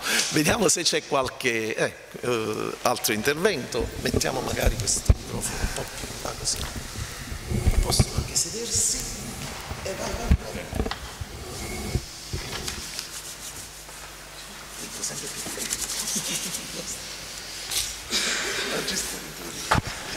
allora, ieri è stato evocato il trono di spade, oggi siamo in pieno ambiente di CSI, ma cold case. Eh, eh, un po' mi fa impressione diciamo, il fatto che, John, che, Francesco Senatore pensa le stesse cose che, che penso io, ce le ho scritte qua, c'è una prova, è una cosa abbastanza impressionante e anche inquietante. Eh, certamente Antonio da Pesaro non poteva far cavaliere eh, nessuno, però non ricordo se Antonio fosse messer, cioè fosse già cavaliere, in tal caso avrebbe potuto farlo, però in ambito mercenario è impossibile perché ci vuole un'autorità. Eh, Alessandro Sforza può fare cavalieri eh, su delega, per esempio, ed è un signore. Ehm, allora, ehm, sulla questione di questa lettera non mi esprimo perché sto pubblicando in queste settimane un saggio di, di, di, di 30 pagine, quindi proprio su questa lettera del 16 febbraio qua, eh, ovviamente questi spazi sono tutti pubblici, poi c'è... Eh, sono tutti pubblici. Poi ci sono delle varianti perché... Mh, eh, ma chiaramente l'intervento di, di, Luigi Cirillo non era solo su questo, però ci sono degli spazi che sono fintamente privati, come questi, che semplicemente provocano poi un giro delle informazioni un po' diverso. Quindi mh, mm, su questo poi magari... Ehm, appunto ho ragionato un bel po', quindi eh, ci ho scritto. Ehm, la cosa che vorrei sottolineare un po' sono queste due eh, questioni. La prima eh, è una questione che mi sta molto a cuore ed è quella diciamo, del mondo mercenario. Peraltro io sto per fondare un centro di ricerca che non sia un divertimento ma sia diciamo, un centro serio di ricerca su questa grande civiltà, che è una civiltà che anche dal punto di vista linguistico, politico, dà un grande contributo al rinascimento europeo. Eh, il fatto che mi è sembrato di capire, perché la cosa era talmente complessa che a un certo punto la seguivo bene, cioè, tant'è che io non sono fatto per i gialli, in genere li indovina sempre mia moglie, eh, la notizia rimbalza un po' attraverso Palermo. A un certo punto esce fuori anche Cola di Monforte, il conte di Campobasso, eh, sul quale anche rimbalzano delle informazioni, no? Giusto?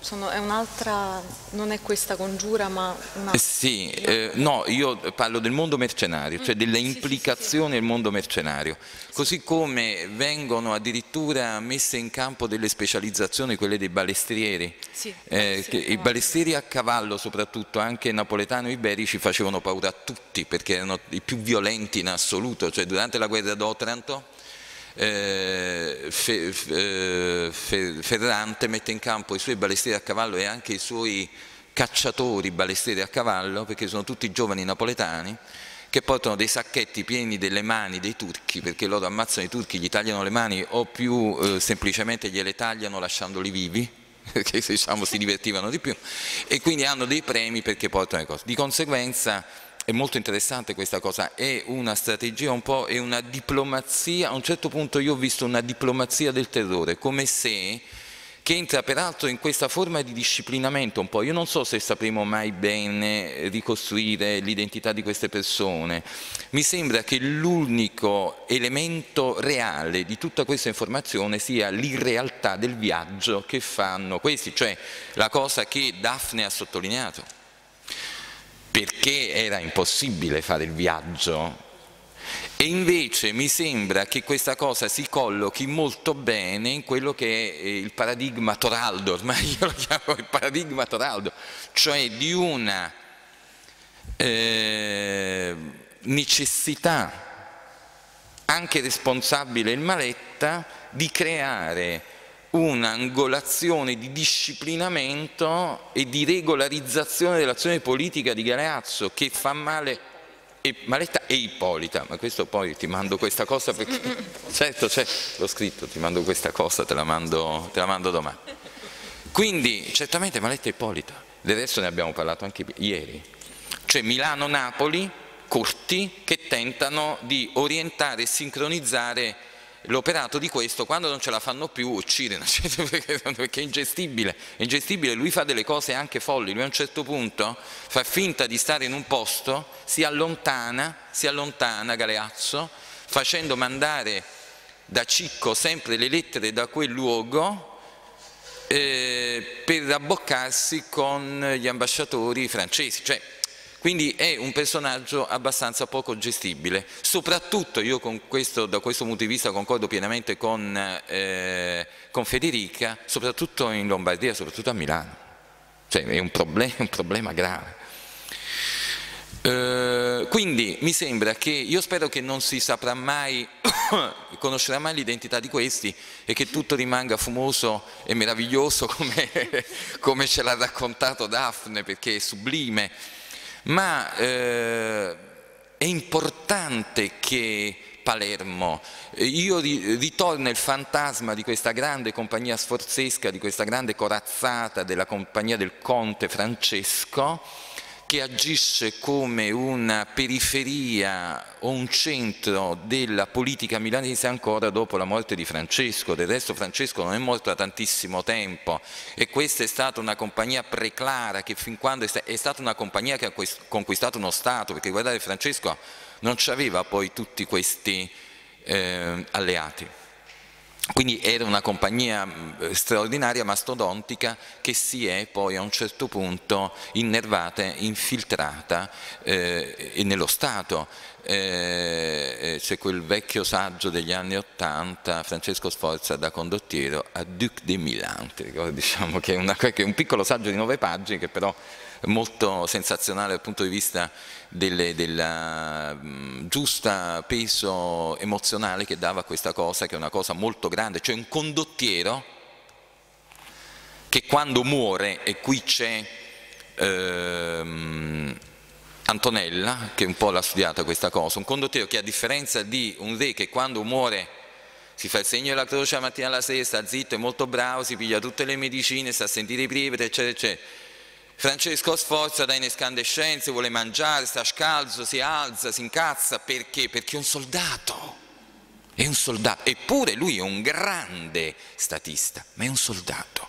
E questa è una cosa che mai abbastanza viene sottolineata. Un soldato diventa signore di uno dei più grandi stati europei. Quindi l'implicazione delle compagnie, queste non sono dei tamarri che fanno la guerra, queste sono delle persone che sono complementari a questo complesso gioco politico e hanno un livello informativo tra di loro di relazioni come soldati ulteriore, anche un po' diverso, anche un po' diverso, anche un po' diverso. Concludo con un'altra diciamo, suggestione delle tante che sono uscite da questo convegno che, di cui sinceramente io sono contentissimo, penso anche Francesco lo sia. Ieri ci siamo complimentati a vicenda per la diciamo, riuscita didattica, perché qua eh, credo che interventi di qualità scarsa finora non ce ne siano. Eh, perché il panaro è così importante tra mille questioni così gravi, ci stanno i turchi alle porte, eh, c'è Cipro periclitante, eh, il duca di Borgogna sta facendo la guerra, tutto quanto, diciamo, il problema straordinario è il panaro, è ovvio. Anche questa è una questione diciamo, di carattere diplomatico e anche militare. Portare le truppe in territorio del genero di, ma lo sarebbe anche oggi, di Ferrante. Perciò a Napoli, come giustamente Luigi ha dimostrato, l'ossessione, il perno e il panaro, cioè è questa bastita, è questa casarella di legno, questa piccola costruzione su questo, eh, quest'ansa, perché è così importante e ossessiva? Perché lo spiega in quella lettera che ha evocato Luigi, dice qua ci sta il duca, ma ci sta mia figlia qua. Quindi tu stai portando i soldati contro mia figlia, è una dichiarazione di guerra. Eh, la cosa mi sembra chiaramente illustrata da Ferrante. Noi la percepiamo meno, là non viene ripetuta, infatti Ferrante la, la dice là chiaramente, perché era chiaro e il, e il, Panaro, giustamente ha sottolineato Luigi, è ossessivamente riportato in questa cartella. La cartella la potremmo definire 225, ovvero il Panaro, perché, perché tra, tra l'altro. Perché è portato, e questa è una cosa invece da sottolineare, cioè Galeazzo, la più grande errore, perciò qua entra in scena anche Maletta, entra in scena anche Maletta, Ippolita, il grande errore, il più grande errore, la, la, la, la mm, eh, gaff politica più astrusa e eh, goffa in questa diciamo complessa situazione per la quale non, non, non, Galeazzo non va bene, c'era bisogno ancora di sforzo, o meglio della madre, magari della madre, eh, Bianca Maria, è proprio questo fatto di aver portato i suoi soldati in questa fortificazione. È una dichiarazione di guerra al re.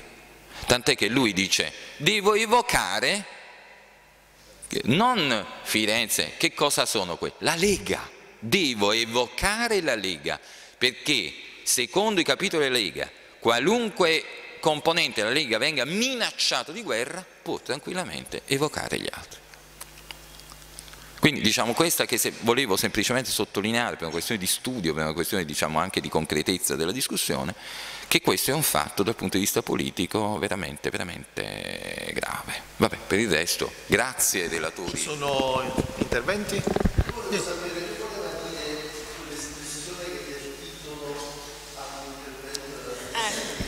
Sì, sì, sì. Eh, allora, in realtà è una, è una cosa sulla quale ho ragionato lungamente anche con la collega perché diciamo non era di facile interpretazione perché ho pensato magari eh, fosse un riferimento politico, anche magari il pavone in qualche stemmaraldio, non so, non siamo riuscite bene a venirne a capo. In realtà la cosa che eh, ho pensato che sia semplicemente un modo per, eh, una sorta di modo di dire, per, eh, ma forse non so, ne tratt la tratterai anche tu, non, non ne ho idea, comunque eh, una sorta di modo di dire per una una, una grande architettura, cioè una pasta che ne manzariano i pavoni, almeno, ma è un'interpretazione del tutto così eh, personale, è una, una, una cosa così grande che darà da mangiare anche ad altri addirittura avanzerà del cibo e infatti ordisco una pasta che ne manzariano i pavoni e poi dice subito dopo un, mi frutterà 10.000 ducati e, dice, e, lo dice contestualmente a, eh, al fatto che De, Diego d'Elison non doveva preoccuparsi perché Diego immediatamente prima di questa confessione di Francesco di Alessandri ammette di trovarsi in ristrettezze e di avere una serie di problemi e quindi eh, De Alexandri glielo dice per consolarlo in un certo senso e dire in qualche modo avanzerà qualcosa anche per te se mi aiuti. Almeno io l'avevo interpretata in questo modo. Legali... Esatto.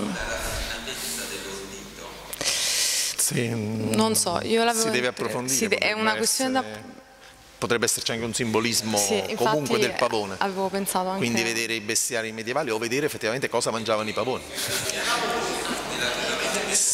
Vediamo che, che man... Sì, ma sono onnivori a quanto apprendo da internet i pavoni.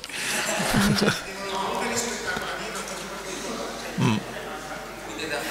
Sì, quindi, e quindi, quindi sarebbe un una cosa raffinato. che un cibo raffinato e quindi una Beh, somma consistente. È simbolo di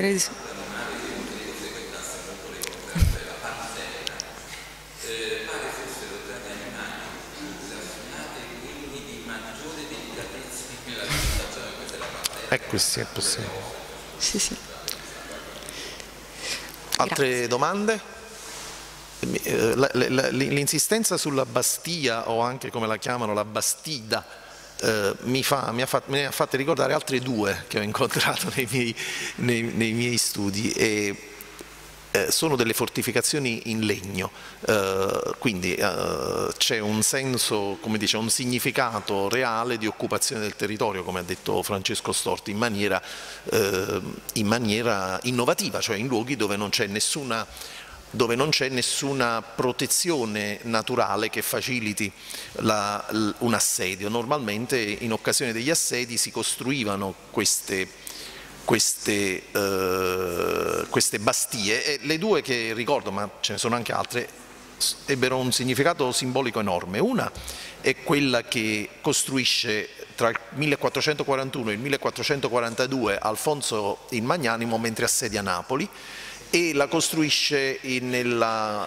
cosiddetto campo di Napoli, cioè in una zona diciamo, eh, tra il centro direzionale e Poggio Reale e, eh, per, e, e, e qui dormono i suoi balestrieri. E tutti i testimoni ne parlano come una cosa straordinaria, a distanza di tempo si dice io ho dormito sulla paglia insieme agli altri che stavano nella Bastia. Aversa ha i privilegi da Ferrante quando si arrende perché ha contribuito a portare la legna per costruire la Bastia. Vicino alla Bastia si costruisce una cappella, poi si costruisce, eh, la cappella è quella di Santa Maria della Pace dove si fa la processione per ricordare la vittoria per tutto il tempo dell'epoca aragonese, per ricordare la conquista di Napoli e Facio, Panormita le saltano come se fosse un, una reggia, una cosa ovviamente impossibile, e un'altra bastia è quella che si fa ad Ischia durante la guerra di successione per contrastare il castello di Ischia. Quindi sulla costa di fronte si fa una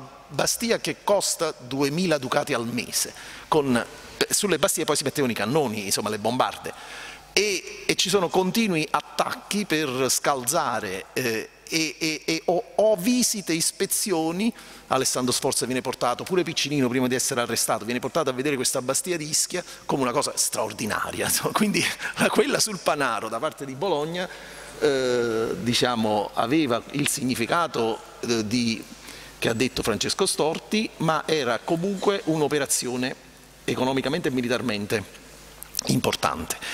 Eh, io forse direi di non fare la sosta perché purtroppo abbiamo cominciato un po' in ritardo e anche perché il, così col freddo restiamo ben congelati qui e possiamo procedere e eh, se però non siete d'accordo, tu che dici? Facciamo una sosta breve? Va bene, allora 10 minuti di sosta e poi cominciamo con la seconda sessione di oggi, mentre, mentre io non sapevo che c'era un omaggio eh, di, dei eh, ragazzi di, eh, da Castellammare diciamo, che ci hanno portato queste particolari zeppole imbottite di cioccolata, questa colazione come si sarebbe detto nel, nel 400 e, e quindi la, la pausa era necessaria oltre che piacevole. Dunque invito Chiara Melchionno e Leo Donnarumma a, sederci, a sedersi qui a fianco a me nell'ordine eh, in cui parlano, che è questo che ho detto, e, e come prima poi avremo eh, l'intervento di Francesco Montori, un dibattito e le conclusioni di Federica Cengarle che sono relative a tutte e due le giornate. Dunque Chiara Melchionno ci parla delle espressioni paremiache, una nota di colore nelle parole apte et convenienti degli ambasciatori. Prego. Buongiorno a tutti. Buongiorno a tutti innanzitutto e grazie per l'invito. Um, il mio intervento verterà sull'uso e la funzione di alcune um, espressioni linguistiche quali appunto le paremie, ovvero i proverbi in senso stretto, ma anche le locuzioni e modi di dire che um, ho riscontrato nella lettura della, della cartella di cui ci siamo occupati um, proponendomi innanzitutto di eh, rispondere ad alcuni quesiti. Um, I proverbi, eh, quindi espressioni tipiche dell'oralità, eh, se inseriti in un contesto, in questo tipo di testi, avevano una funzione, se sì, quale e eh, in che modo ehm, condizionavano anche eh, la funzione poi del testo stesso. Comincio quindi eh, con una carrellata ecco, di espressioni paremiache cercando poi di tirare un po' delle, mm, delle, delle conclusioni. Um, bisogna innanzitutto partire da un presupposto, eh, ovvero ehm, dalla stretta correlazione tra oralità e scrittura nell'ambito della diplomazia quattrocentesca e non solo.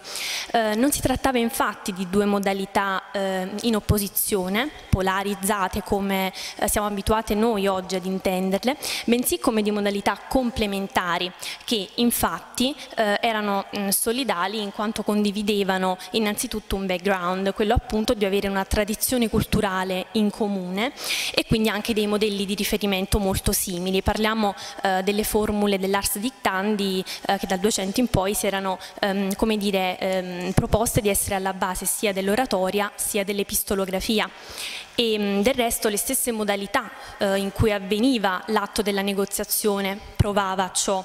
Um, come sottolinea molto bene Stéphane Pechignon nei suoi studi, um, écrit par les négociés c'était tout un, quindi appunto l'atto della negoziazione, lo scrivere, il parlare erano parte di un unico eh, processo e circolo. Um, e molto banalmente um, le uh, somiglianze tra oralità, tra oralità, e scrittura passano anche attraverso la presenza di un io, uh, quindi di una scrittura egocentrica da un punto di vista linguistico, di un io che necessita di un interlocutore, questo tanto um, in una lettera quanto in una conversazione orale. Uh, e molti tratti linguistici che si riscontrano nelle lettere sono anche propri dell'espressione parlata, a partire da alcuni costrutti marcati con dislocazioni in funzioni tematizzanti della, tematizzante della frase che si riscontrano anche in questo tipo di lettere. Per quanto riguarda le paremie, mh, mm, la prima che eh, è emersa è questa. Eh, se le serrano rose fioriranno, ovvero il corrispondente del nostro se eh, saranno rose fioriranno. Eh, la lettera in questione è quella scritta da Francesco Manetta Galeazzo Maria Sforza e eh, ovviamente non posso fare a, meno, fare a meno di contestualizzarla. Ehm, vengono infatti qui riportate eh, le parole di un certo Fabrizio della Leonessa, che si dice essere amico intimo di Maletta. Um, Fabrizio della Leonessa a sua volta riporta uh, le parole di, del conte di Fondi, Onorato Gaetani, e um, viene detto che secondo appunto il conte di Fondi le controversie tra Gian Galeazzo, tra um, uh, appunto gli, Sfor gli, Sforza e Re di Napoli sono state, uh, come dire, causate, hanno causato poi la presa di Cipro. E quindi si dice anche convinto che se le cose sono sono, sono, destinate ad andare per il verso giusto lo faranno perché probabilmente mh, potranno ancora eh, avere un rimedio, potranno appunto avere una soluzione. Come dice lui, prenderanno buona sesto e buona forma quindi appunto si potrà rimediare. Um, è un proverbio ipotattico, in questo caso viene utilizzato non in un discorso riportato, um, ma uh, come conclusione dell'ambasciatore stesso, che sta cercando di sintetizzare con un'espressione uh, icastica. Um, le paremie, infatti, i proverbi sono espressioni brachilogiche, convenzionali, polisemiche ed allogogiche, quindi rimandano sempre ad altro da sé su un piano traslato ehm, e sta cercando di sintetizzare quanto è stato detto da Fabrizio della Leonessa e dal Conte di Fondi. Um, mi sembrava interessante riportare un parallelismo che ho riscontrato con il primo volume dei dispacci sforzeschi uh, di Napoli. Um, si trova infatti un proverbio assimilabile a se saranno rose fioriranno, seguendo la suggestione del dizionario dei proverbi, che uh, lo accomuna, accomuna questo proverbio a un altro, cioè fare le ragioni uh, senza l'oste è controproduttivo perché si faranno due volte. E, um, considerato che il primo volume racchiudeva la corrispondenza almeno almeno parzialmente tra il 1444 e il 1458, mi sembrava interessante riportarlo per evidenziare come in realtà ehm, da decenni, ma dall'alba dei tempi si potrebbe dire, questi proverbi mutatis mutandis continuino ad essere utilizzati. Uh, la seconda paremia è i problemi si aggiustano strada facendo, per via si aconza soma. Questo è forse l'esempio più um, come dire, um, uh, chiaro da, um, per cominciare ad identificare una sorta di funzione uh, che i proverbi avevano in, in queste lettere.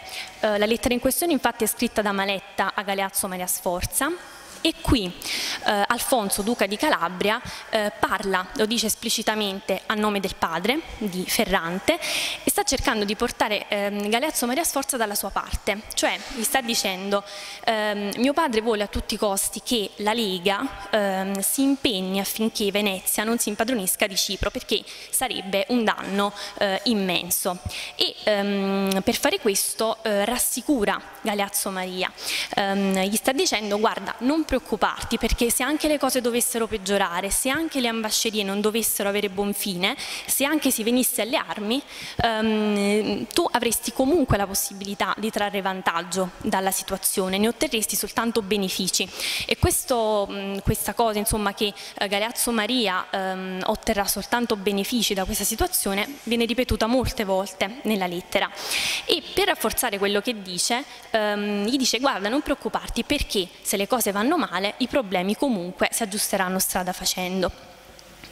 E um, è interessante anche che per uh, dire, rafforzare questo proverbio di, um, lo faccia con una sorta di esempio di vita vissuta, uh, cioè dice quando io sono stato mandato da mio padre a combattere nella guerra di Romagna capitò più o meno la stessa cosa, ovvero che um, le cose dovevano andare in un certo modo, poi così non è stato, ma tutto sommato hanno preso il loro corso e quindi uh, con un exemplum di vita vissuta, come dire, Alfonso spiega spiega ancora meglio questo proverbio che è un proverbio monofrastico, in questo caso è inserito in un discorso riportato, eh, quello che Maletta riporta e che è pronunciato da Alfonso Duca di Calabria e ehm, ho riportato poi eh, a, a, scopo come dire, anche di curiosità alcune varianti eh, del, del, proverbio, perché ogni proverbio ha tantissime varianti eh, geolinguistiche eh, che il dizionario dei proverbi riporta. Um, ancora andando avanti, il diavolo non è così brutto come lo si dipinge. Questo è un proverbio che compare soltanto in, in, in due minuti e non nella lettera originale, scritta da Galeazzo Maria Sforza a Francesco Maletta. Um, sono parole riportate uh, da Maletta, uh, le parole sono di Galeazzo Maria Sforza, che sta tranquillizzando sua sorella, Ippolita Maria Sforza, eh, dicendole non preoccuparti, eh, stai di buon animo perché le cose non sono mai così tragiche come ehm, si possa pensare. Ehm, lo sta dicendo in un contesto, il contesto è, sempre fondamentale per capire eh, appunto questo tipo di espressioni ehm, e mh, mm, si parla infatti di come ehm, siano state apprese delle critiche fatte dalla corte aragonese alla corte sforzesca sulle presunte scarse capacità governative e politiche di, di Galeazzo Maria Sforza, che comunque si dice eh, convinto eh, di voler continuare eh, i rapporti con la corte aragonese e mh, appunto di, eh, di non causare al re ulteriori dispiaceri. Um, ho riportato anche qui dire, la conferma che si tratti di un'espressione parimiaca basandomi su alcuni dizionari storici della lingua um, e uh, che anche in questo caso il proverbio è di Galeazzo Maria Sforza e lo utilizza per sintetizzare una, una rassicurazione che fa a sua sorella. Um, un sembrava, un'altra espressione che mi sembrava interessante è questa, um, una casa si desfa più presto che non la si fa di nuovo, ovvero è più facile distruggere che costruire. Anche qui uh, è Galeazzo Maria Sforza che scrive a Maletta e il contesto ancora una volta ci viene uh, in aiuto. Um, Galeazzo Maria Sforza parla della, bastita, della, questione della bastità del Panaro più volte citata durante la giornata di oggi uh, e um, sta dicendo um, benché a Milano si usi dire che è più facile distruggere che costruire, non è proprio questo il caso, perché i bolognesi ci hanno donato la bastita del Panaro di loro spontanea volontà, quindi non c'è stato da distruggere niente sostanzialmente, ma eh, la costruzione è stata gratuita, nel senso che la bastita mh, ci è stata praticamente ehm, regalata appunto da, da, mano dei bolognesi. Um, e usa tra l'altro anche un'altra locuzione, si sono buttati tra le nostre braccia proprio a dire che che ehm, come dire, eh, la cosa è stata più facile del previsto. Um, il proverbio è introdotto, insomma, si trova all'interno di un discorso riportato um, in un accumulazio di frasi dichiarative, caratteristica questa delle coine cancelleresche, dall'impasto linguistico estremamente complesso per la giusta posizione di costrutti, uh, frasi dichiarative um, e, e, ed altro. E la cosa interessante è che in questo caso il proverbio è riconosciuto proprio come tale, perché viene introdotto da si dice comunemente, come si dice comunemente a Milano. Um, ancora, piuttosto apto a perdere il certo che recuperare l'incerto, ovvero lasciare il certo per l'incerto. Questo proverbio ricorre in una lettera eh, scritta da eh, Maletta a Galeazzo Maria Sforza e in questo caso ehm, come dire, è ferrante ad essere adirato nei confronti di Galeazzo Maria Sforza. Ehm, e dice a un certo punto della lettera se il Duca di Milano non cambia vita et costumi, dice, cioè se non cambia il suo atteggiamento finirà anche per perdere ciò che ha di certo, quindi presumiamo gli alleati, l'alleanza eh, con la Lega. E mh, quindi vuole ottenere di più ma in realtà finirà per perdere solamente. Eh, infatti Ferrante ha dirato per il prestito in primis che ehm, Galeazzo Maria Sforza ha fatto ai veneziani eh, per l'impresa di Cipro. E, mm, quindi in questo caso è un'espressione di Ferrante che viene riportata, eh, con cui sostanzialmente si esprime uno sdegno da parte appunto del, del sovrano. Questa invece ehm, è un, ehm, insomma, ho preferito riportare questa espressione perché in realtà non è un proverbio, ma all'inizio mi sembrava tale e quindi mi sembrava doveroso riportarlo per, come dire, a modi exemplum, per mh, mm, testimoniare, diciamo così, quanto spesso eh, queste espressioni siano mh, mm, difficili da riconoscere. Da un punto di vista infatti strettamente linguistico mm, c'è un'espressione con, con, una sorta di socolon, quindi perfettamente simmetrica, con due parti che si specchiano. Eh, la logica del, del, costrutto si basa su un, su un costrutto retorico eh, logico binario binario perché è chiaramente diviso in due, quindi potremmo essere portati a pensare che eh, possa trattarsi di una paremia. In realtà però il contesto ci viene in, in aiuto, mh, mm, testimonianza di quanto appunto sia fondamentale molto spesso per capire questo tipo di espressioni. Um, si sta infatti riferendo di, quanto, di quando um, venga eh, da parte del Duca di Urbino eh, effettua effettuato un prestito a Ippolita Maria Sforza ehm, da parte di un tale Giovan Battista Bentivoglio ehm, il quale, viene detto nella lettera, non volse né pegno né segno cioè eh, non volle da parte della duchessa né da parte sua un bene da impegnare né una sorta di carta scritta per eh, assicurarsi poi la, la garanzia della restituzione del, del, prestito effettuato. Mi sembrava interessante per far capire appunto l'importanza del contesto per determinare questo tipo di espressioni. Um, proseguo la carrellata con un modo di dire, non poter cavare chiodo, un'espressione che ricorre in una lettera di Maletta a Galeazzo Maria Sforza e um, si parla di una lettera di cui tra l'altro ha parlato già eh, la collega, eh, di questo gentiluomo castigliano che giunto a Napoli vorrebbe avere indietro 1300 ducati che ha prestato a, a Referrante a scopi bellici. Non riesce però ad averli indietro in alcun modo e quindi se biasma e lamenta fino al cielo, cioè eh, si lamenta tantissimo perché non riesce a cavare un ragno eh, dal buco. Um, infine passo alle locuzioni con una che um, diciamo, è aperta a interpretazioni. Um, andare vestito di rosato. Um, qui um, siamo in una lettera scritta da Cicinello a Ferrante d'Aragona e uh, Antonio Cicinello uh, riporta a Ferrante il proposito di Galeazzo Maria Sforza di volersi recare a Roma in, in occasione della Quaresima e che ehm, in compagnia insomma, del suo seguito e anche dello stesso Cicinello vuole che ehm, ci si vesta appunto di rosato. Ora, con questa espressione non è ehm, diciamo, chiarissimo a cosa alluda, mm, potremmo fare delle ehm, ipotesi.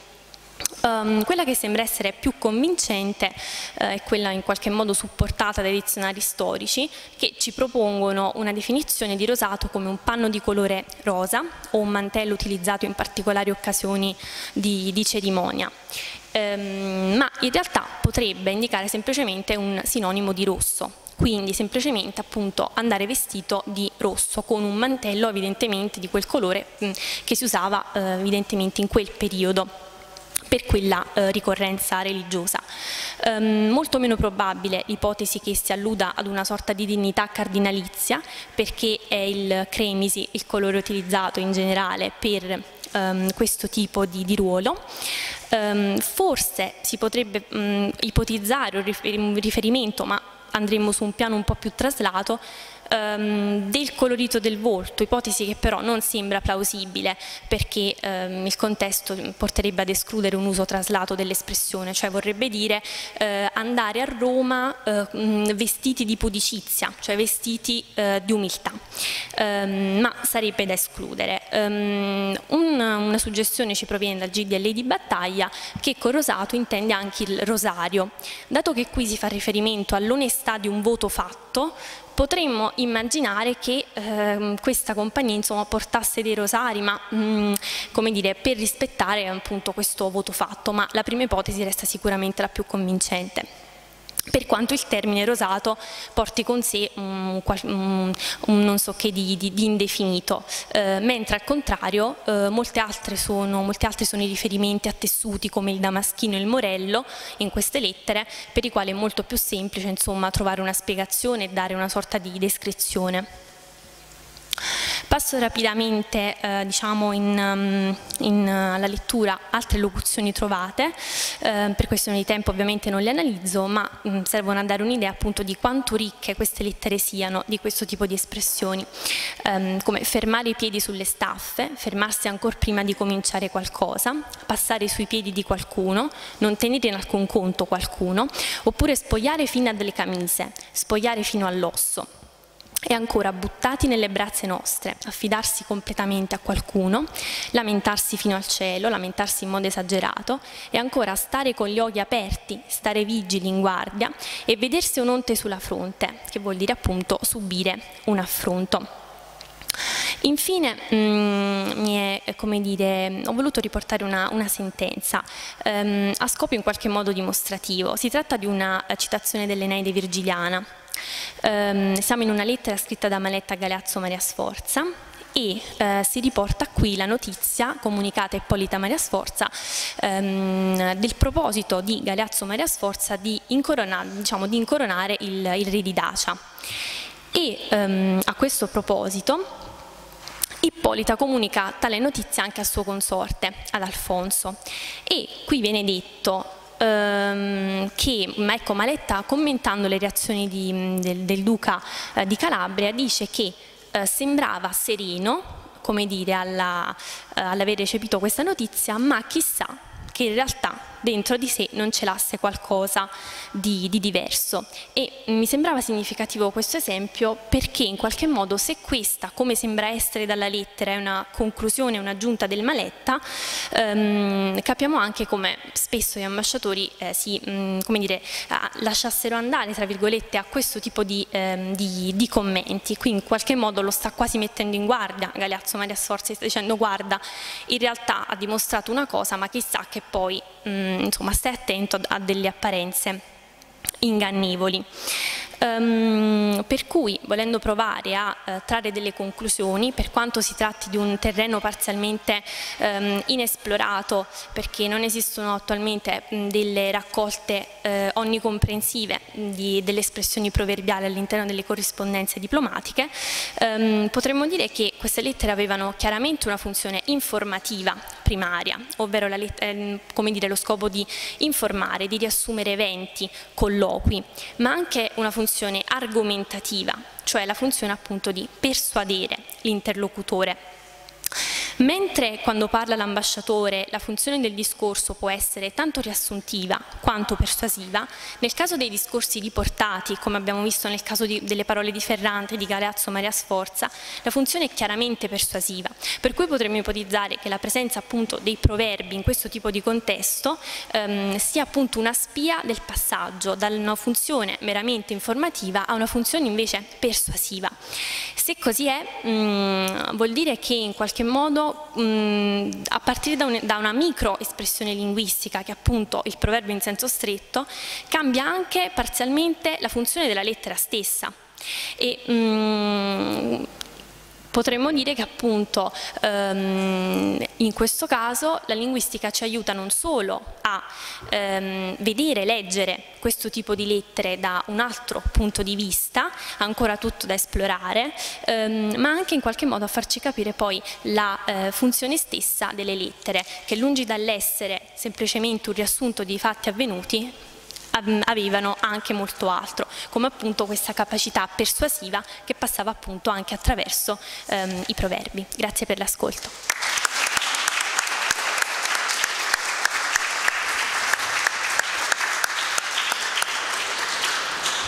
Grazie a Melchionno per questa, prima di tutto uno spoglio molto accurato di tutti i proverbi, eh, i modi di dire, locuzioni e questa interessante sentenza che eh, mostra anche la cultura eh, dell'ambasciatore, ma soprattutto anche per questa conclusione, perché non si è trattato solamente di un lavoro di sistematica lettura eh, dei testi, ma anche eh, di una eh, ipotesi veramente interessante che poi vedremo come sarà commentata da Francesco Montuori, cioè come per riassumere questa eh, utilizzare, eh, il, utilizzare il, il proverbio come una spia del passaggio all'argomentazione all e soprattutto alla persuasione, in qualche modo anche una spia forse inconsapevole da parte del, dello scrivente eh, e, e, questo ci aiuterebbe, eh, se, ci aiuterebbe a, a, a, distinguere eh, i livelli eh, comunicativi dei dispacci e, e, e l'uso diverso del repertorio, della cassetta degli attrezzi, diciamo così, che ha a disposizione l'ambasciatore quando scrive per cogliere tutti gli scarti, tutte le nuance eh, della sua posizione e della sua comunicazione. Quindi grazie a Chiara Melchionno, passiamo a Leo Donnarumma eh, che ci parla delle forme della cortesia, l'importanza del dono nelle corrispondenze diplomatiche tra Napoli e Milano. Prego. Grazie professore. Se potessimo tutti alzarci e andare a Milano, eh, nella lettera 182 conservata presso l'Archivio di Stato all'interno del Fondo Sforzesco Potenze Estere Napoli, eh, nella cartella 225, potremmo leggere Francesco, per Florio, nostro cavallaro, mandamo una delle nostre collane a donare alla magnifica contessa mogliere del messer conte Camerlengo. Pertanto drizzarai esso cavallaro ad presentare il dono da parte nostra, secondo te parerà essere più conveniente. Il dono in questione, consistente in una collana, era indirizzato da Galeazzo Maria Sforza ad Antonella d'Aquino, moglie del camerlengo regio Don Innigo d'Avalos. La lettera, in questo caso una minuta, ci permette così di introdurre la questione assai complessa di un ulteriore aspetto della comunicazione politica, le forme di cortesia e, in particolar modo, i doni, studiati appunto mediante l'utilizzo della corrispondenza diplomatica tra Napoli e Milano negli anni 70 del 1400. Poco dopo ritroviamo nello stesso fascio di lettere un'altra notizia, stavolta proveniente da Napoli. Florio, cavallaro de vostra celsitudine, è giunto qua, con la collana che quella manda a donare alla contessa Camerlinga, la quale contessa è ad Vairano, terra sua lontana di qui 30 miglia. Domani manderò un mio messo insieme col ditto Florio dalla ditta contessa. L'ambasciatore Maletta, che risponde al Duca il 27 dicembre 1473, registrava efficacemente, dopo soli dieci giorni, l'arrivo del dono da Milano e contemporaneamente comunicava le prossime mosse da farsi. Questa pratica sociale, fortemente presente finanche nella società contemporanea, ritrova le sue radici all'interno Um, scusate, eh, le sue radici in antichi rituali che sono stati ben analizzati da un celebre antropologo francese, Marcel Mauss, nel suo celebre saggio sul dono. Le sue ricerche, tuttavia, prendevano il là dagli studi di Bronislaw Marinowski e Franz Boas, che avevano rispettivamente portato alla luce il Kula e il Potlak, due cerimonie rituali legate al dono, ancora oggi in uso presso le rispettive tribù e studiate dai due antropologi agli inizi del XX secolo. Il primo rito, che prevedeva lo scambio di collanine e braccialetti tra persone anche molto distanti tra loro, ha dato l'opportunità all'antropologo francese di sviluppare una teoria fondamentale per l'antropologia, che vede il dono come un'istituzione sociale non volontaria ma obbligatoria nel caso del Potlach, invece, si veniva a configurare presso i nativi americani una vera e propria economia del dono. In essa il bene o servizio era capace di soddisfare un dato fabbisogno della società. La successiva analisi comparativa portata avanti da Moss quindi faceva del dono un fatto sociale totale, un aspetto culturale, cioè che è in connessione con tutti gli altri e che di conseguenza consente di studiare tutti i diversi aspetti culturali di una determinata società. In effetti, se noi andassimo a ritroso nel tempo, all'interno della cartella 224 ritroveremo una lettera inviata da Maletta a Galeazzo Maria Sforza ho fatto consignare ad Venturino il cavallo del conte Camerlingo, al quale, avendo io proferto debito pagamento, ha risposto che grandissimo pagamento gli sarà quando l'intende il cavallo sia piaciuto e satisfatto a vostra sublimità, a cui continuamente mi raccomando. Ex Neapolis, die 22 settembre, 22 settembre 1473. Questa lettera ci testimonia quindi l'inizio della cerimonia del dono, che possiamo articolare secondo quanto afferma anche Mussi, in tre passaggi fondamentali. Dare, ricevere, significa cioè che l'oggetto del dono deve essere accettato e ricambiare. Lo scambio di doni che abbiamo finora tracciato non si conclude qui, perché il 1 gennaio 1474 parte da Napoli per Milano un'altra lettera, stavolta voluta da una donna. Illustrissime princeps et eccellentissime domine frater onorandissime, avemo visto lo collaro d'oro mandato a donare, vostra eccellenzia, la magnifica contessa camerlenga, la quale è stata sola contentezza e consolazione che abbiamo avuto in questo capodanno. E prosegue la lettera. Appresso per il singolare amore portiamo al signor conte e alla contessa per i quali ne è piaciuto più tal presente che se decimila volte lo avessimo ricevuto noi. Questa lunga lettera qui riportata è la risposta inviata dalla cordialissima sorella Ippolita Maria dell'Aragona Vicecomes, Ducissa Calabria, così è riportato sul verso della Pergaena, ma più comunemente noi la conosciamo ormai come Ippolita Maria Sforza, al fratello il Duca di Milano. È interessante evidenziare che la contessa scrive è piaciuto più tale regalo che se lo avessimo ricevuto noi diecimila volte. La contessa infatti ci testimonia un ulteriore aspetto che sembra essere assai rilevante per la società medievale, la gratitudine e gli atti di cortesia. Da un'indagine che ho compiuto personalmente sulle cartelle 220 a 228, corrispondenti agli anni 1470-1476, ho ricavato alcuni dati rilevanti. Per vari motivi, come abbiamo potuto anche vedere in questo convegno, le relazioni tra Napoli e Milano nell'anno 1473, scusate, 1474 erano un po' tese, anche a causa del comportamento ambiguo di Galeazzo Maria Sforza nei confronti della Corte napoletana. Prima di poter procedere però è necessario soffermarsi ulteriormente sul significato attuale del dono. In un saggio del sociologo francese Alain Caillé e del sociologo canadese Jacques Godbout, Lo spirito del dono, si dà quella che forse per me è la più eccellente definizione del concetto di dono. Definiamo dono ogni prestazione di beni o servizi effettuata senza garanzia di restituzione al fine di creare, alimentare o ricreare il legame sociale tra le persone. Per questo motivo, sulla base di quanto ho appena detto, mi è sembrato opportuno dividere all'interno della schedatura i doni in due grandi categorie, i beni materiali da una parte e gli atti di cortesia dall'altra. In questa seconda categoria rientrano anche ad esempio i medici che venivano inviati tra le due corti, le raccomandazioni, le richieste fatte al re o al duca che possono essere desunte dai dispacci.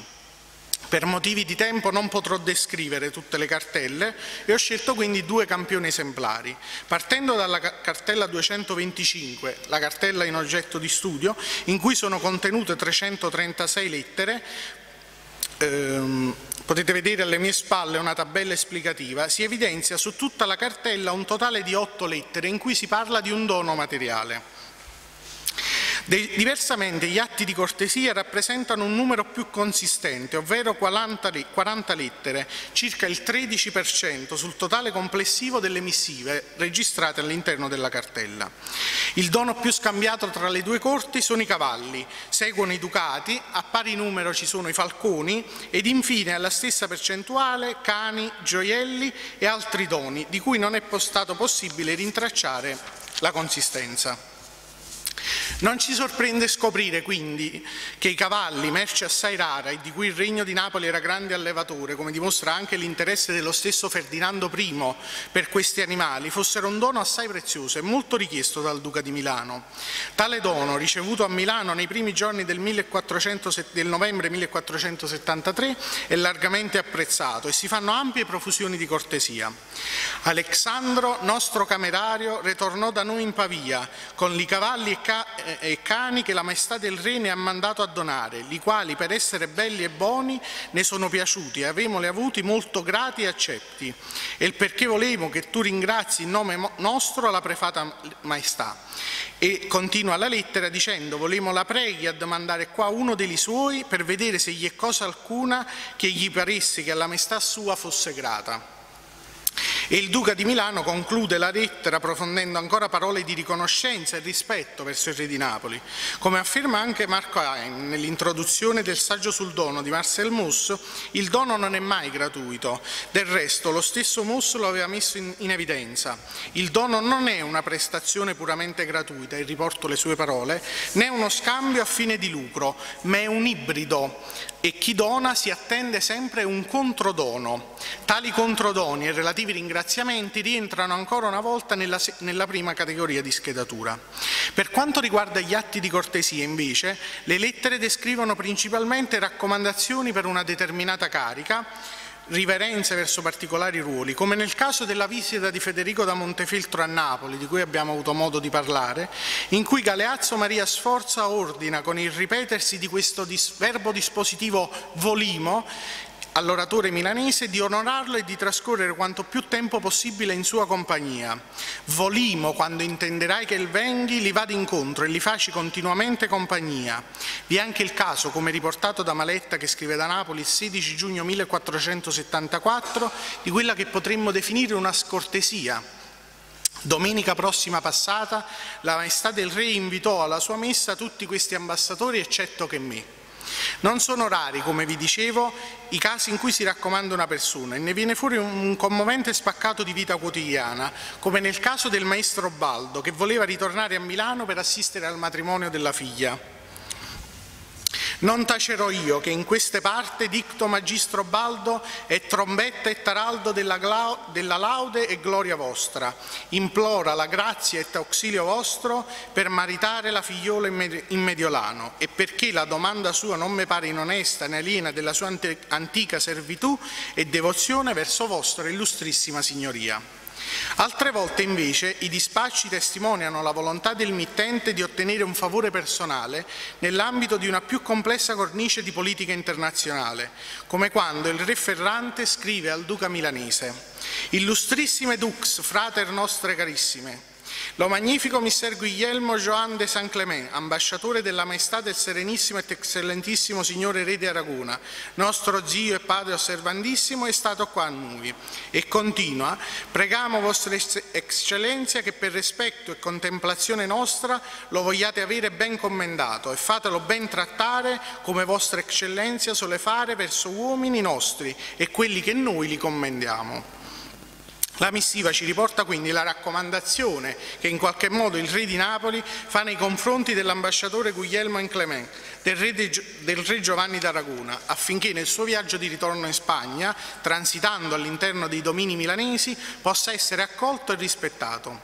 Ritornando all'originaria vicenda dei cavalli e della collana, è interessante analizzare anche la cartella 224. È da lì infatti che ha avuto inizio tutta la vicenda del gioiello donato da Galeazzo Maria alla contessa d'Aquino. Il principio di tutto si ha nella lettera numero 177.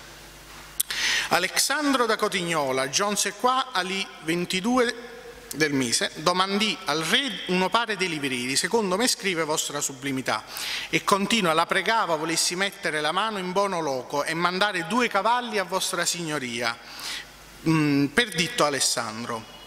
Il Duca di Milano quindi fa esplicita richiesta tramite Alessandro da Cotignola di un paio di levrieri per la caccia e due cavalli per il Duca.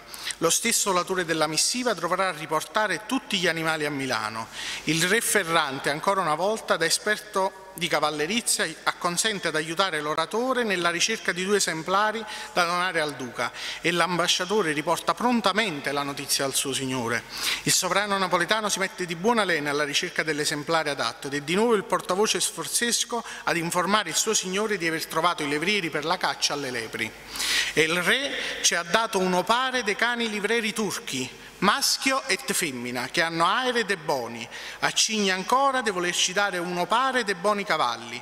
Ha voluto parlare due volte Alessandro da solo. La vicenda prosegue poi alla lettera successiva, alla, cioè alla successiva lettera 211, la prefata maestà, come avvisai questi di vostra eccellenza, diede un opare de livreri ad Alessandro Volentera. Da poi ha fatte mostrare tutte le stalle dei suoi cavalli qui in Napoli, da Don Colla Turaldo, cavallerezzo maiore e molto amato e favorito dal re. E segue ancora, la lettera è molto lunga, eh, nella parte successiva leggiamo, nella pagina successiva leggiamo Venturino da Cremona, vostro ragazzo, sono otto giorni che viene qua, dal quale, intendendo il desiderio a vostra sublimità di avere uno cavallo al modo suo, e io non pensando né studiando mai in altro che da soddisfare alla volontà vostra, trovandomi al cospetto de Madonna vostra sorella, dove era ancora il conte Camerlengo, quale io so è fornito dei simili buoni cavalli, io venni studiosamente in ragionamento di questo cavallo, che cercava per vostra signoria. Dicto conte disse immediatamente averne uno pare, quale me faria vedere e quali piacendone ne disponessi come de cosa de vostre eccellenze. Questo lungo dispaccio ci mostra quindi la scaltrezza dell'oratore sforzesco nel compiacere il suo Signore e, essendo venuto a sapere del, dal tale Venturino da Cremona della volontà del Duca di avere un nuovo cavallo personale, cercava di accontentarlo quanto, quanto prima. Così, in occasione di un incontro tra Ippolita Maria Sforza il conte Innigo d'Avalos, Gran Camerlingo e il suddetto Maletta, quest'ultimo chiedeva al conte di procurargli un cavallo per il Duca. Il conte, poiché in qualche modo obbligato verso un'autorità un'autorità superiore, non esitava a mettere a disposizione dell'ambasciatore i suoi cavalli. Infine, il dono per il Duca di Milano viene fatto recapitare tramite il vostro ragazzo, Venturino da, Regu, da, da Cremona. La vicenda trova il suo epilogo nella lettera che abbiamo già, le, già letto prima, del 22 settembre 1473, ma che ci fornisce ulteriori interessanti notizie. Illustrissimo Signore mio, ho fatto l'ambassata de vostre eccellenze alla maestà del Re, del Zannetto che mi scrive vostra Signoria.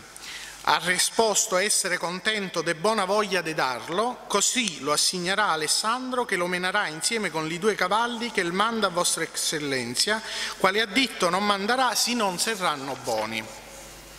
Credo che Alessandro partirà fra 4D, bene spedito di ogni cosa. Ho fatto consegnare a Venturino il cavallo del conte Camerlengo, al quale, avendo io proferto debito pagamento, ha risposto che grandissimo pagamento gli sarà quando l'intenda che il cavallo sia piaciuto e soddisfatto a vostra sublimità di cui abbiamo detto già prima.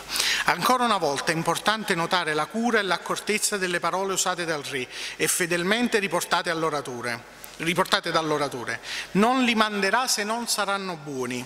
Oltre al valore puramente materiale, quindi del dono, si aggiunge l'importanza di dimostrare la qualità della propria scuderia. Il re è sempre generoso con i suoi alleati e con i suoi familiari. È interessante notare inoltre che nelle lettere si fa riferimento a un cavallo zanneto, probabilmente di, di importazione spagnola, un ginetto, come lo chiameremo noi oggi, piccolo e snello, utilizzato già dai combattenti al servizio dell'antico califfato di Granada per azioni rapide e violente, assai diverso dalle robuste cavalcature italiane che dovevano sopportare il peso degli uomini d'arme. Per quanto riguarda alcuni dati statistici, la cartella 224 non si presenta veramente colma di toni, sono solamente 10 in totale, ma ne abbiamo notizie attraverso più lettere.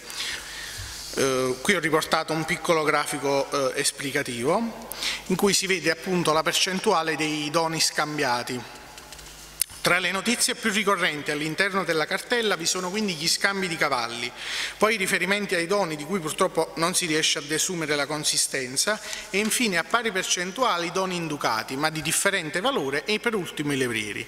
Per ciò che concerne invece gli atti di cortesia, essi rappresentano solo 11 lettere sulle 233 totali, circa il 5% del numero complessivo dei dispacci contenuti all'interno della cartella.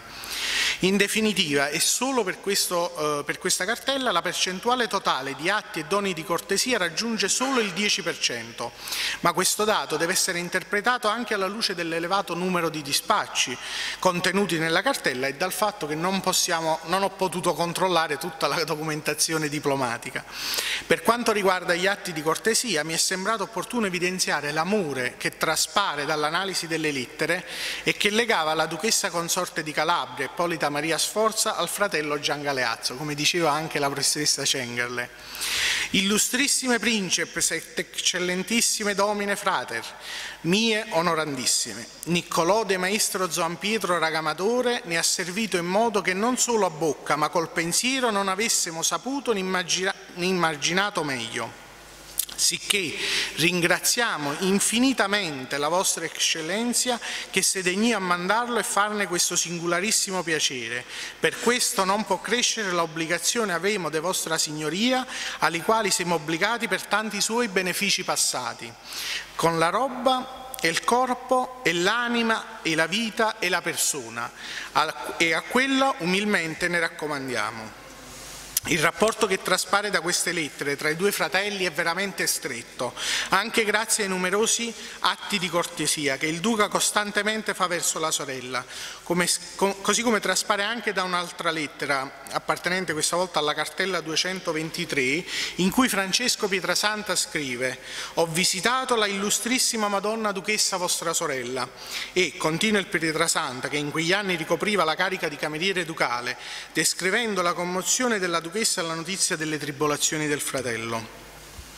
Gli cascavano le lacrime, quasi come se ella non avesse avuto altro Dio al mondo che vostra celsitudine, in modo che in lei vostra celsitudine può ben dire essere vero il proverbio che dice non ha fedele amico chi non ha sorella viva.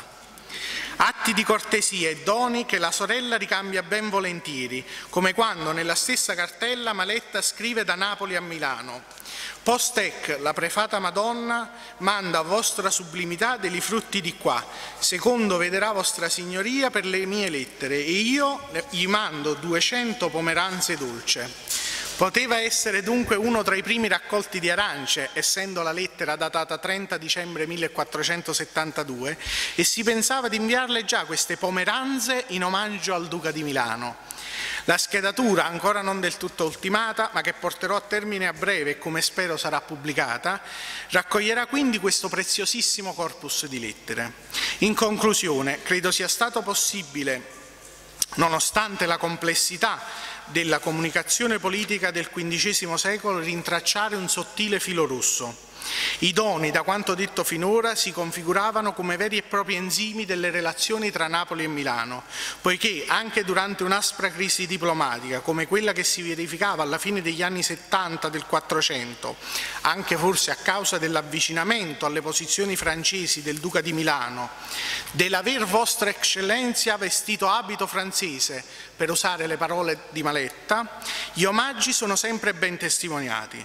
Laddove la diplomazia, i rapporti potevano iniziare a erodersi, si inviava attraverso il dono un messaggio che assumeva un significato ben più profondo del puro valore materiale. Andava configurandosi realmente, almeno da quanto traspare dalla documentazione analizzata, quel cosiddetto terzo paradigma, teorizzato da Cagliè, in cui il dono sussumeva un ulteriore significato, la capacità di creare e riprodurre relazioni sociali.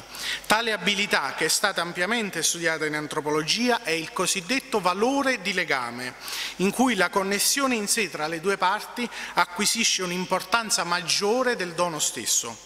Se anche le relazioni quindi cambiavano lessico o mutavano i codici di comunicazione, l'omaggio politico rappresentava in ogni caso il segnale che la strada del dialogo e della comprensione rimaneva costantemente aperta. Grazie.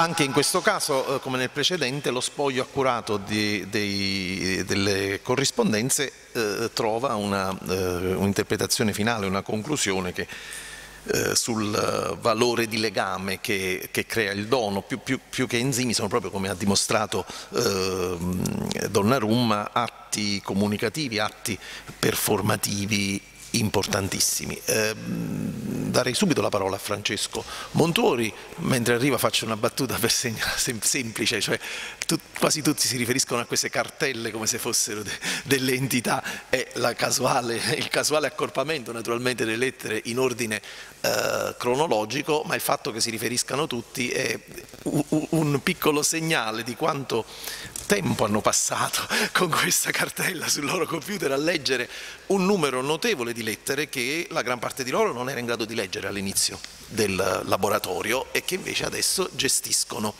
benissimo. Prego Francesco. Sì, grazie.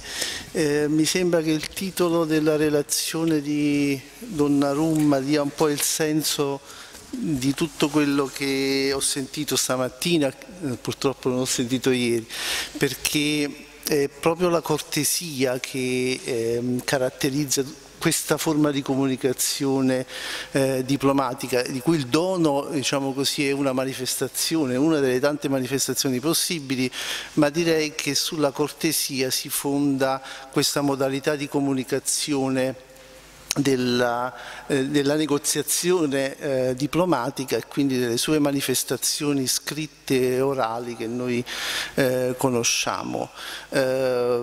Ci sono diciamo, gli studi di, di, pragmatica linguistica, cioè di quella disciplina linguistica che studia eh, la, eh, diciamo, gli atti linguistici nella concreta interazione tra le persone, eh, hanno, calcola, calcano molto e eh, trattano molto il tema della cortesia linguistica.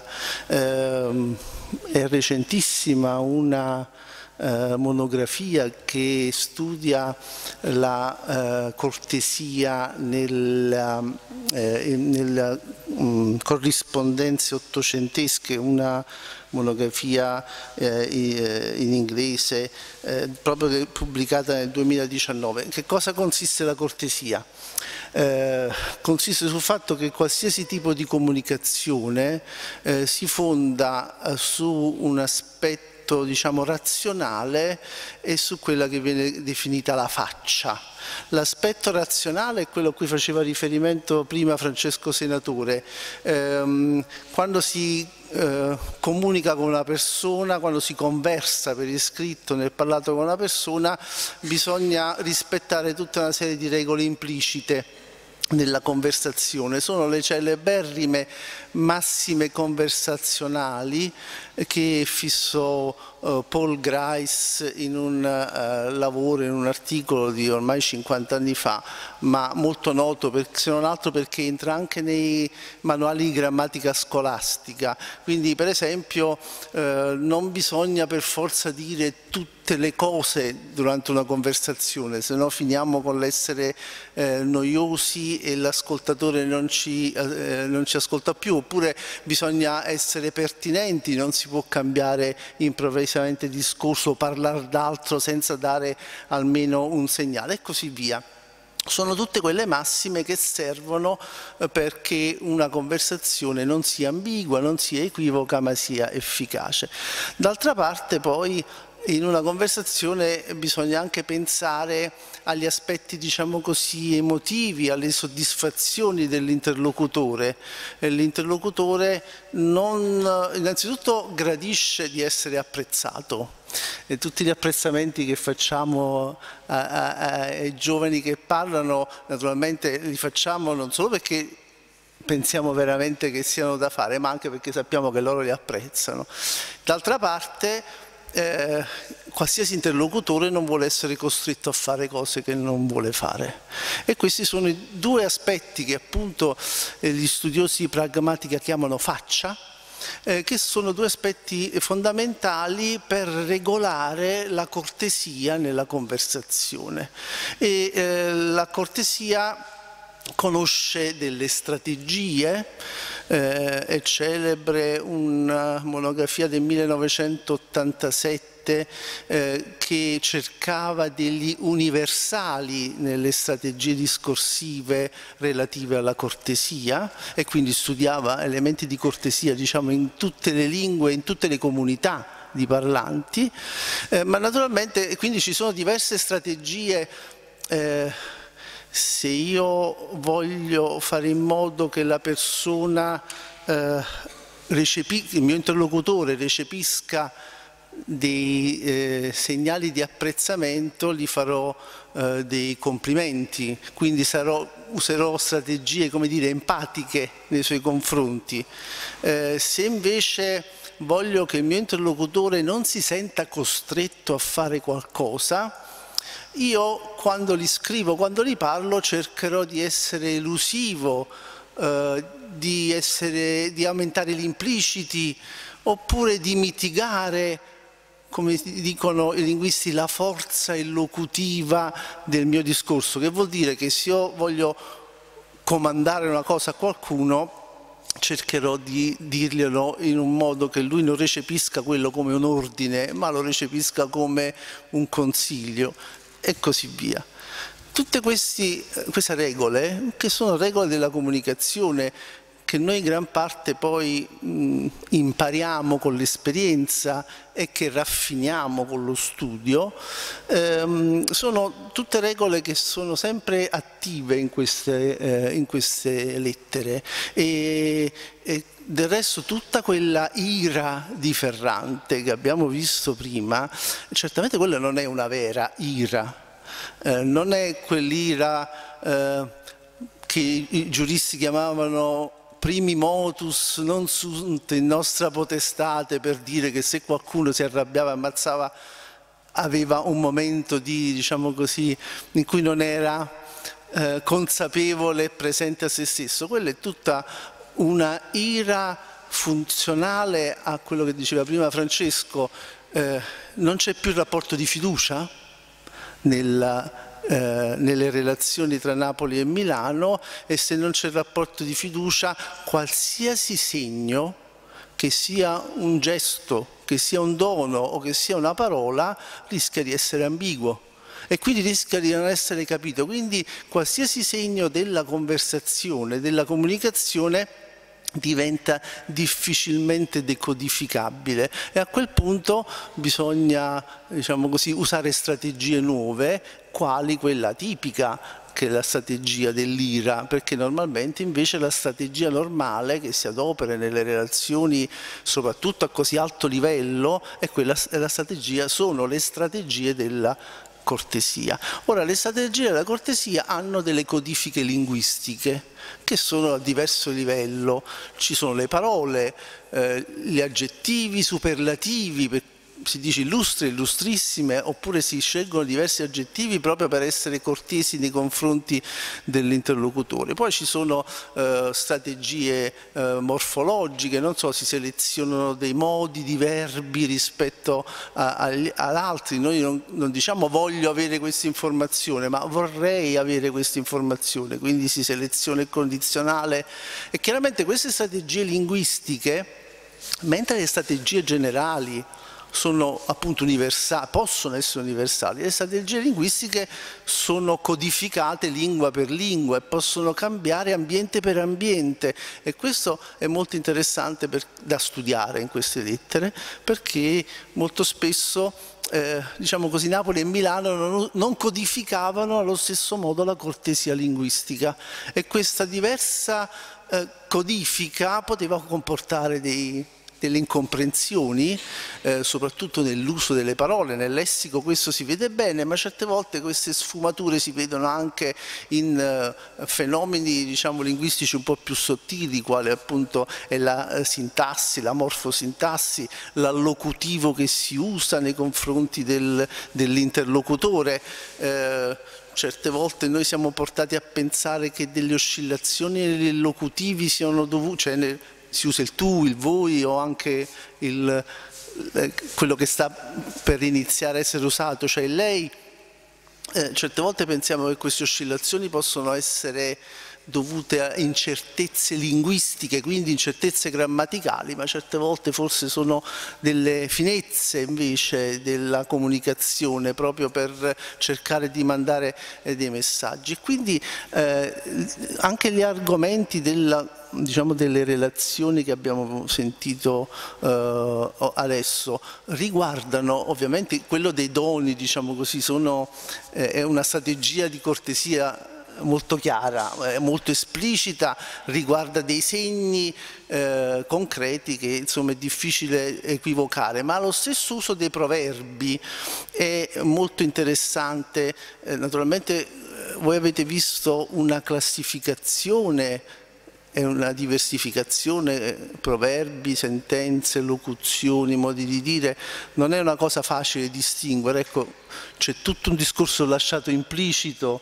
eh, nella relazione della Melchionno su come si definisce un proverbio, come si riconosce un proverbio, ma al di là di questo, quello che è interessante è proprio l'uso dei proverbi in questo tipo di lettera, in questo tipo di, eh, di, di documenti, eh, perché i proverbi possono avere davvero funzioni molto differenti a seconda se si trovano nel discorso riportato eh, nel discorso di un re che l'ambasciatore riporta, mentre eh, eh, dove possono avere diciamo così, una funzione eh, meramente documentaria di un, di un discorso, ma la cosa interessante è quando il, il proverbio del diciamo, del scrivente, cioè del, dell'ambasciatore, perché in qualche modo il proverbio tende nella sua icasticità a eh, recuperare tutto ciò che è implicito, a esplicitare tutto ciò che è esplicito. Tutto sommato il proverbio è una forma di interpretazione di quello che è successo, se è dell'ambasciatore. E nel momento in cui si interpreta si vuole anche dare una, non solo una lettura di ciò che è successo, ma anche un'idea della bontà della propria lettura. In qualche modo col proverbio, con la citazione del proverbio, l'ambasciatore si mette su un piano diverso dal solito, e cerca di argomentare la bontà del proprio punto di vista, che è una uh, situazione decisamente non normale, diciamo così, un po' anomala rispetto al solito. Quindi non solo è interessante fare un repertorio dei proverbi che vengono adoperati in queste fonti, perché è una cosa interessante da diversi punti di vista, eh, quello eh, etnografico, eh, quello sociologico, quello dialettologico eh, e anche quello lessicale, perché spesso nei proverbi troviamo diciamo così, eh, congelate delle espressioni, delle, delle parole che se, se no non, non, avremmo conservate. Quindi c'è un interesse diciamo, storico-linguistico generale, ma poi eh, credo che eh, una delle cose più interessanti è proprio capire la funzione dei proverbi all'interno del testo, quindi bisogna capire bene il l'intero testo, anzi forse la catena di testi che, formati da queste lettere, che cosa vogliono dire, per capire la funzione del, del proverbio all'interno della eh, narrazione, perché un proverbio sì certo può descrivere meglio uno stato d'animo, ma molto spesso viene adoperato a conclusione di un lungo ragionamento perché il messaggio di un lungo ragionamento che ha lasciato molte cose implicite come è necessario che sia in qualsiasi conversazione, ma è importante che il messaggio sia ben chiaro e il proverbio può essere un modo per, diciamo così, fare, fare può essere una maniera che l'interlocutore ricordi bene qual era il senso del messaggio e possa trasmetterlo a sua volta a, ad altri interlocutori, come dire, una forma eh, di mnemotecnica nella negoziazione diplomatica. Io grazie di tutto. Eh, grazie veramente a Francesco Montori che ha valorizzato eh, una serie di aspetti delle relazioni e ci ha ricordato dei fondamenti, vorrei dire, della comunicazione nei suoi aspetti antropologici generali, insomma antro, antropolinguistici, non saprei come dire, e negli aspetti poi invece storici di ciascuna conversazione, di ciascun contesto. Ci sono delle domande prima di passare alle conclusioni su, specifiche sulle relazioni? Sì.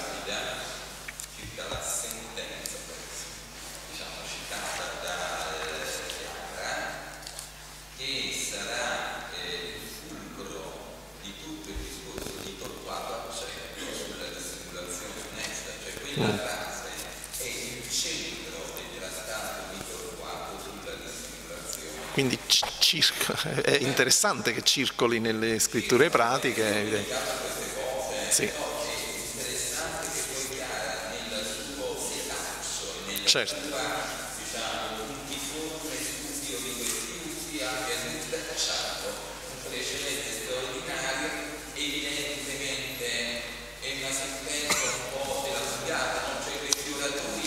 Beh, ma non è, no, non è frequentissima, eh. non, non, credo che sia, non mi pare, però eh,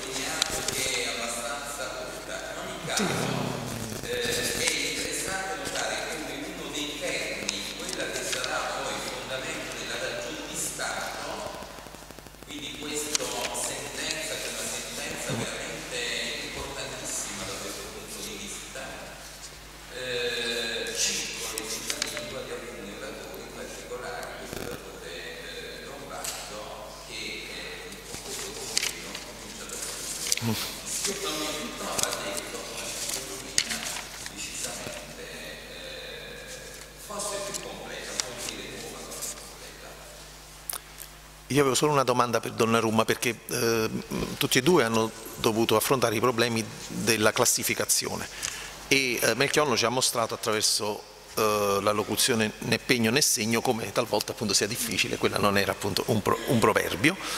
E volevo chiedere appunto a Donnarumma eh, invece che difficoltà ha avuto se le ha avute, nella classificazione degli atti di cortesia, perché i doni eh, va bene, ma gli atti di cortesia in una comunicazione che come ricorda, ha ricordato Francesco Montuori è, dovrebbe avere diciamo, questa base di cortesia, eh, forse ci sono state de, de, delle scelte che ha fatto che ci può diciamo, sì.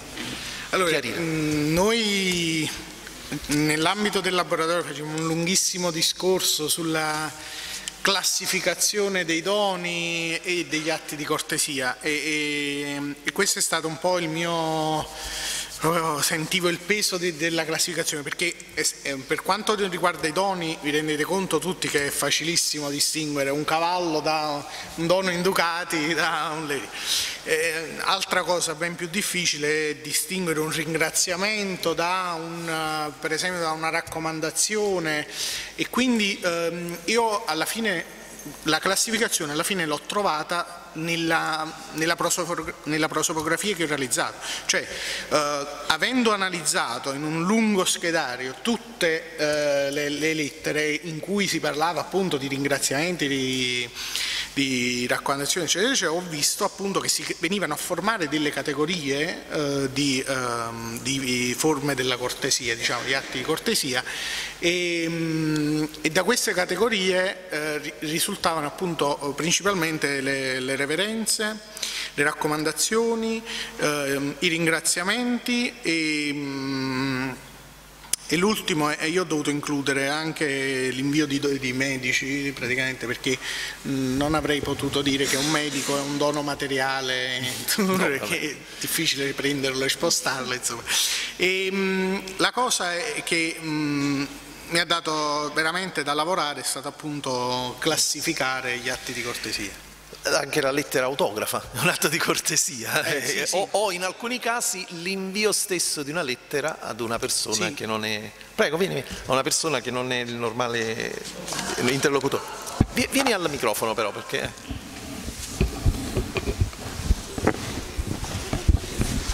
ci spostiamo tutti per far dare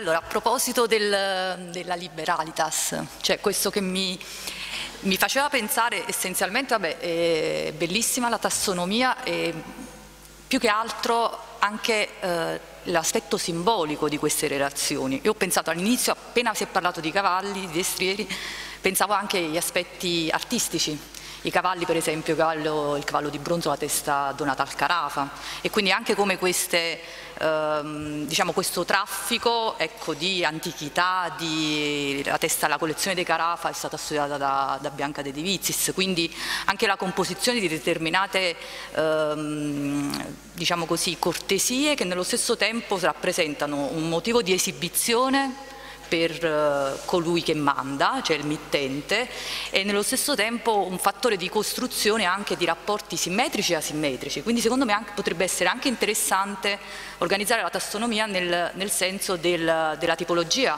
dei, dei protagonisti.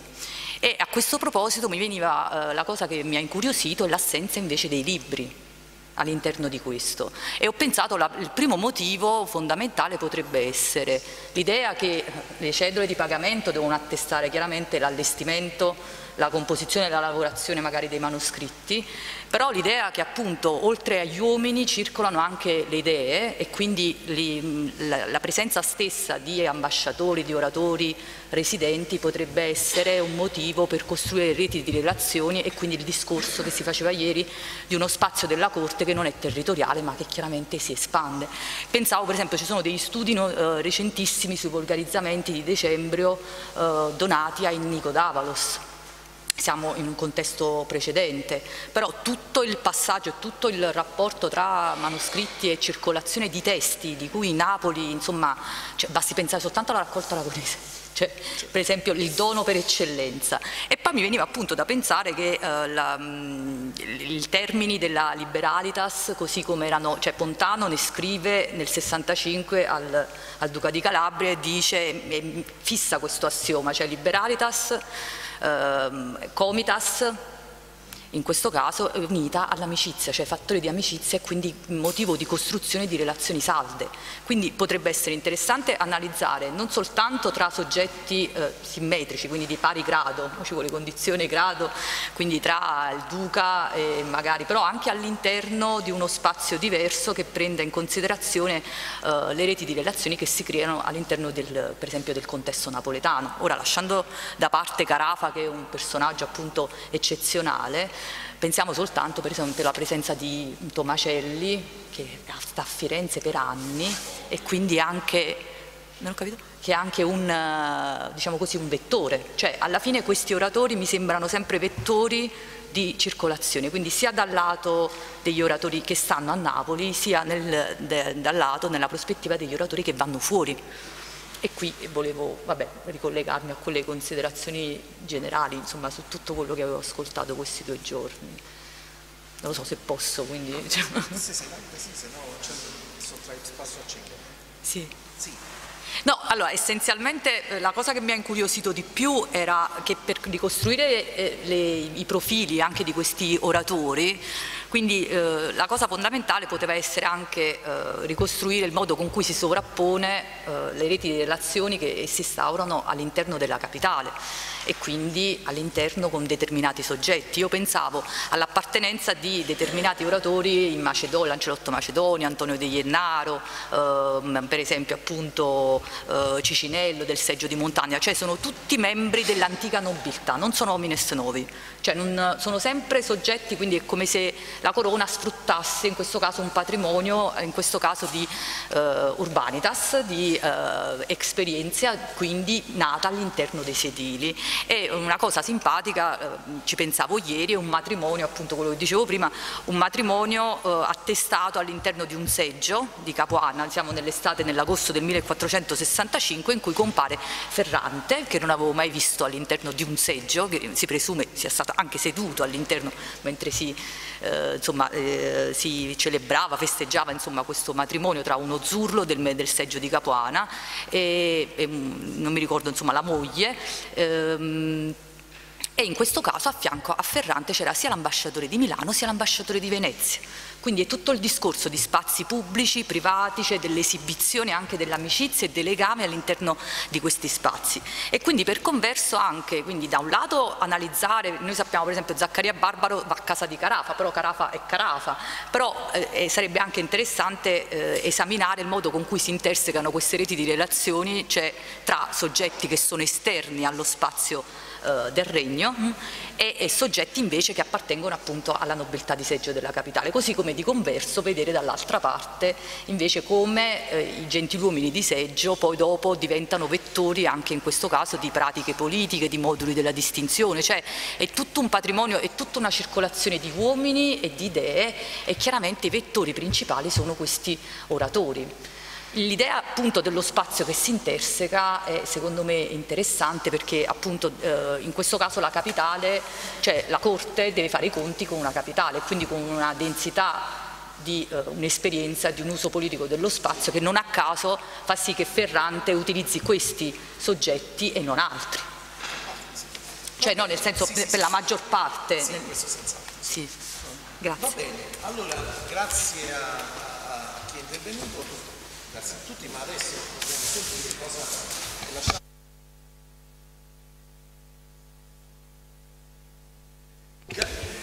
Eh, per le sue conclusioni, ringraziandola fin d'ora della pazienza e dell'urgenza.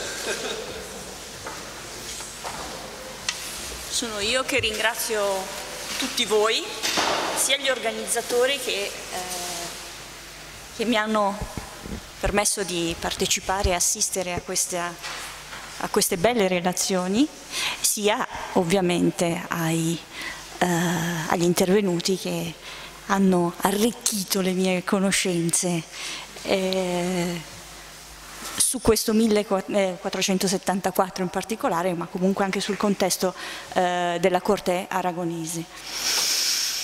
E credo proprio che, eh, l'ho detto, lo ripeto, e la qualità degli interventi abbia confermato il successo della formula del laboratorio che, avete, che hanno ideato Francesco, senatore Francesco Storti. E, mh, appunto partendo da un materiale documentario comune, quindi lo Sforzesco Potenza Estere 225. Ognuno eh, di loro ha eh, dimostrato una matura, mm, poi a seconda anche della propria esperienza eh, e della propria eh, età, diciamo, anche uh, universitaria, ma comunque già una matura autonomia nell'individuare una propria linea di lettura. Mm? E guardando i medesimi protagonisti, i medesimi fatti con occhi diversi. No? E quindi mi è sembrato emergere molto bene insomma, la trama dissimulatrice della corte aragonese, già dalla bella lettura critica del soggiorno prigionia di Federico, di Federico d'Urbino fatta da Antonella Pisano, ma anche nella minuziosa ricostruzione di Rossella, di Rossella del Mondo che è alimentata da parole, gesti e eh, espressioni come ci ha illustrato eh, Luigi Cirillo. Il quadro geopolitico eh, sin troppo ampio, diciamo, che emerge dalla supposta congiura che sta studiando Daphne Grieco e mm, il complicato ruolo degli ambasciatori. Mm? Eh, non solo milanesi perché i riferimenti anche al barbaro mh, mm, allargano un po' la questione una, ma particolarmente milanesi ovviamente data la natura della fonte anche nel penetrare all'interno di questa uh, rete di simulatrice ambasciatori che si possono leggere Mm, sia come vittime inconsapevoli, diciamo così, di quelle che sono le strategie comunicative messe eh, in atto da Ferrante attraverso personaggi ambigui come Brocardo e Brocardo da Persico, e, come ci ha illustrato anche Gabriella Tricarico. e che per questo perdono attendibilità anche nel loro ruolo, no? la richiesta di un controllo da esercitare. E ora riottosi esecutori diciamo, di, una politica, eh, di una politica di Galeazzo Maria in cui non si riconoscono o forse meglio non riconoscono quel duttile modello politico-diplomatico che aveva portato vantaggi al Ducato di Milano eh, negli anni di Francesco Sforza.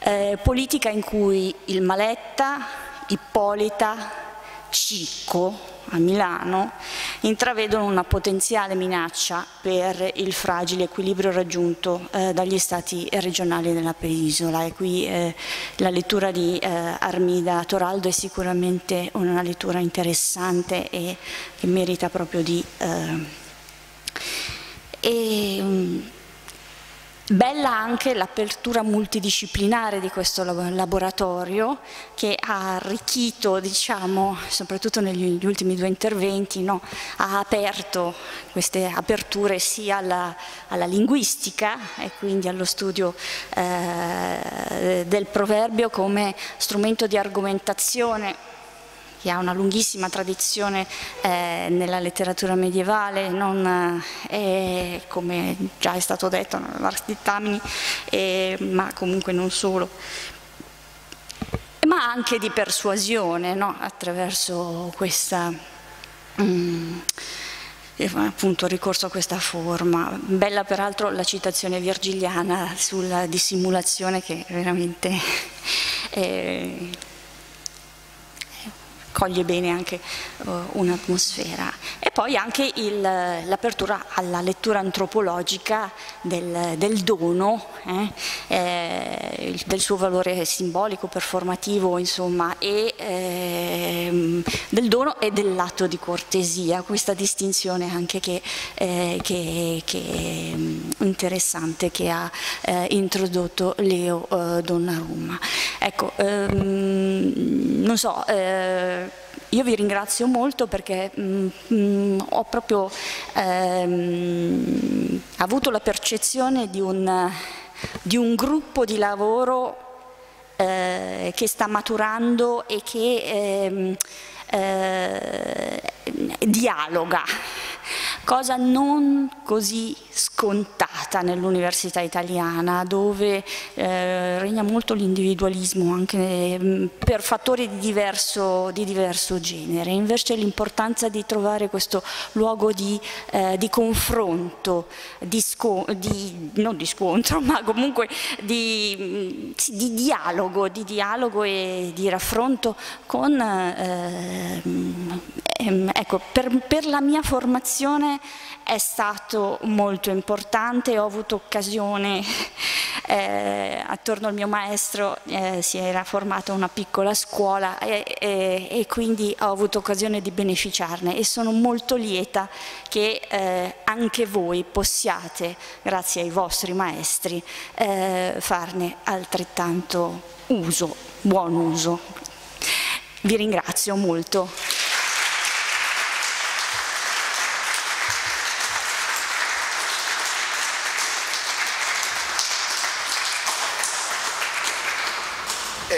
Grazie molte a Federica Cengarle a nome di tutti per queste belle parole, quelle conclusive, ci, la percezione di queste, di queste, pratiche di cortesia tra di noi e di discussione scientifica mi sembra un bel complimento. Vuoi salutare anche tu? Eh, comunque ringrazio ovviamente anche tutti i ragazzi, i relatori, i discussant e naturalmente l'istituto. Vediamo se anche Francesco ha da dire qualcosa. No, voglio salutare anch'io, voglio dire che insomma, gli atti saranno probabilmente esplicativi sotto molti punti di vista. Io coinvolgerò anche Federica nelle conclusioni scritte degli atti, spero che insomma, non venga meno, ma eh, come atto di cortesia finale diciamo, a questa pratica. Eh, sicuramente incorporeremo nel titolo la questione della Corte, sicuramente mi sembra che questa visione di un apparato diplomatico e politico ulteriore rispetto al Ducato che si muove, ecco, non solo come prospettiva napoletana ma anche come prospettiva milanese dall'angolazione napoletana sia un bel bottino diciamo, di questa analisi eh, millimetrica di, questo, di questa eh, cartella, di questa entità cartella che abbiamo individuato. Eh, faccio i complimenti mh, mm, eh, a me e a Francesco, o meglio mi compiaccio del nostro lavoro, nel senso che non per, auto, non per autocelebrarci, ma perché sono veramente, veramente felice della maturazione diciamo, de, de, di queste giovani coscienze e di questi giovani studiosi, quindi è una questione proprio di compiacimento per l'innesco che siamo riusciti ehm, eh, a fare all'interno di queste personalità scientifiche nascenti. Quindi eh, saluto tutti, sono state due giornate molto belle per me, grazie a tutti tutti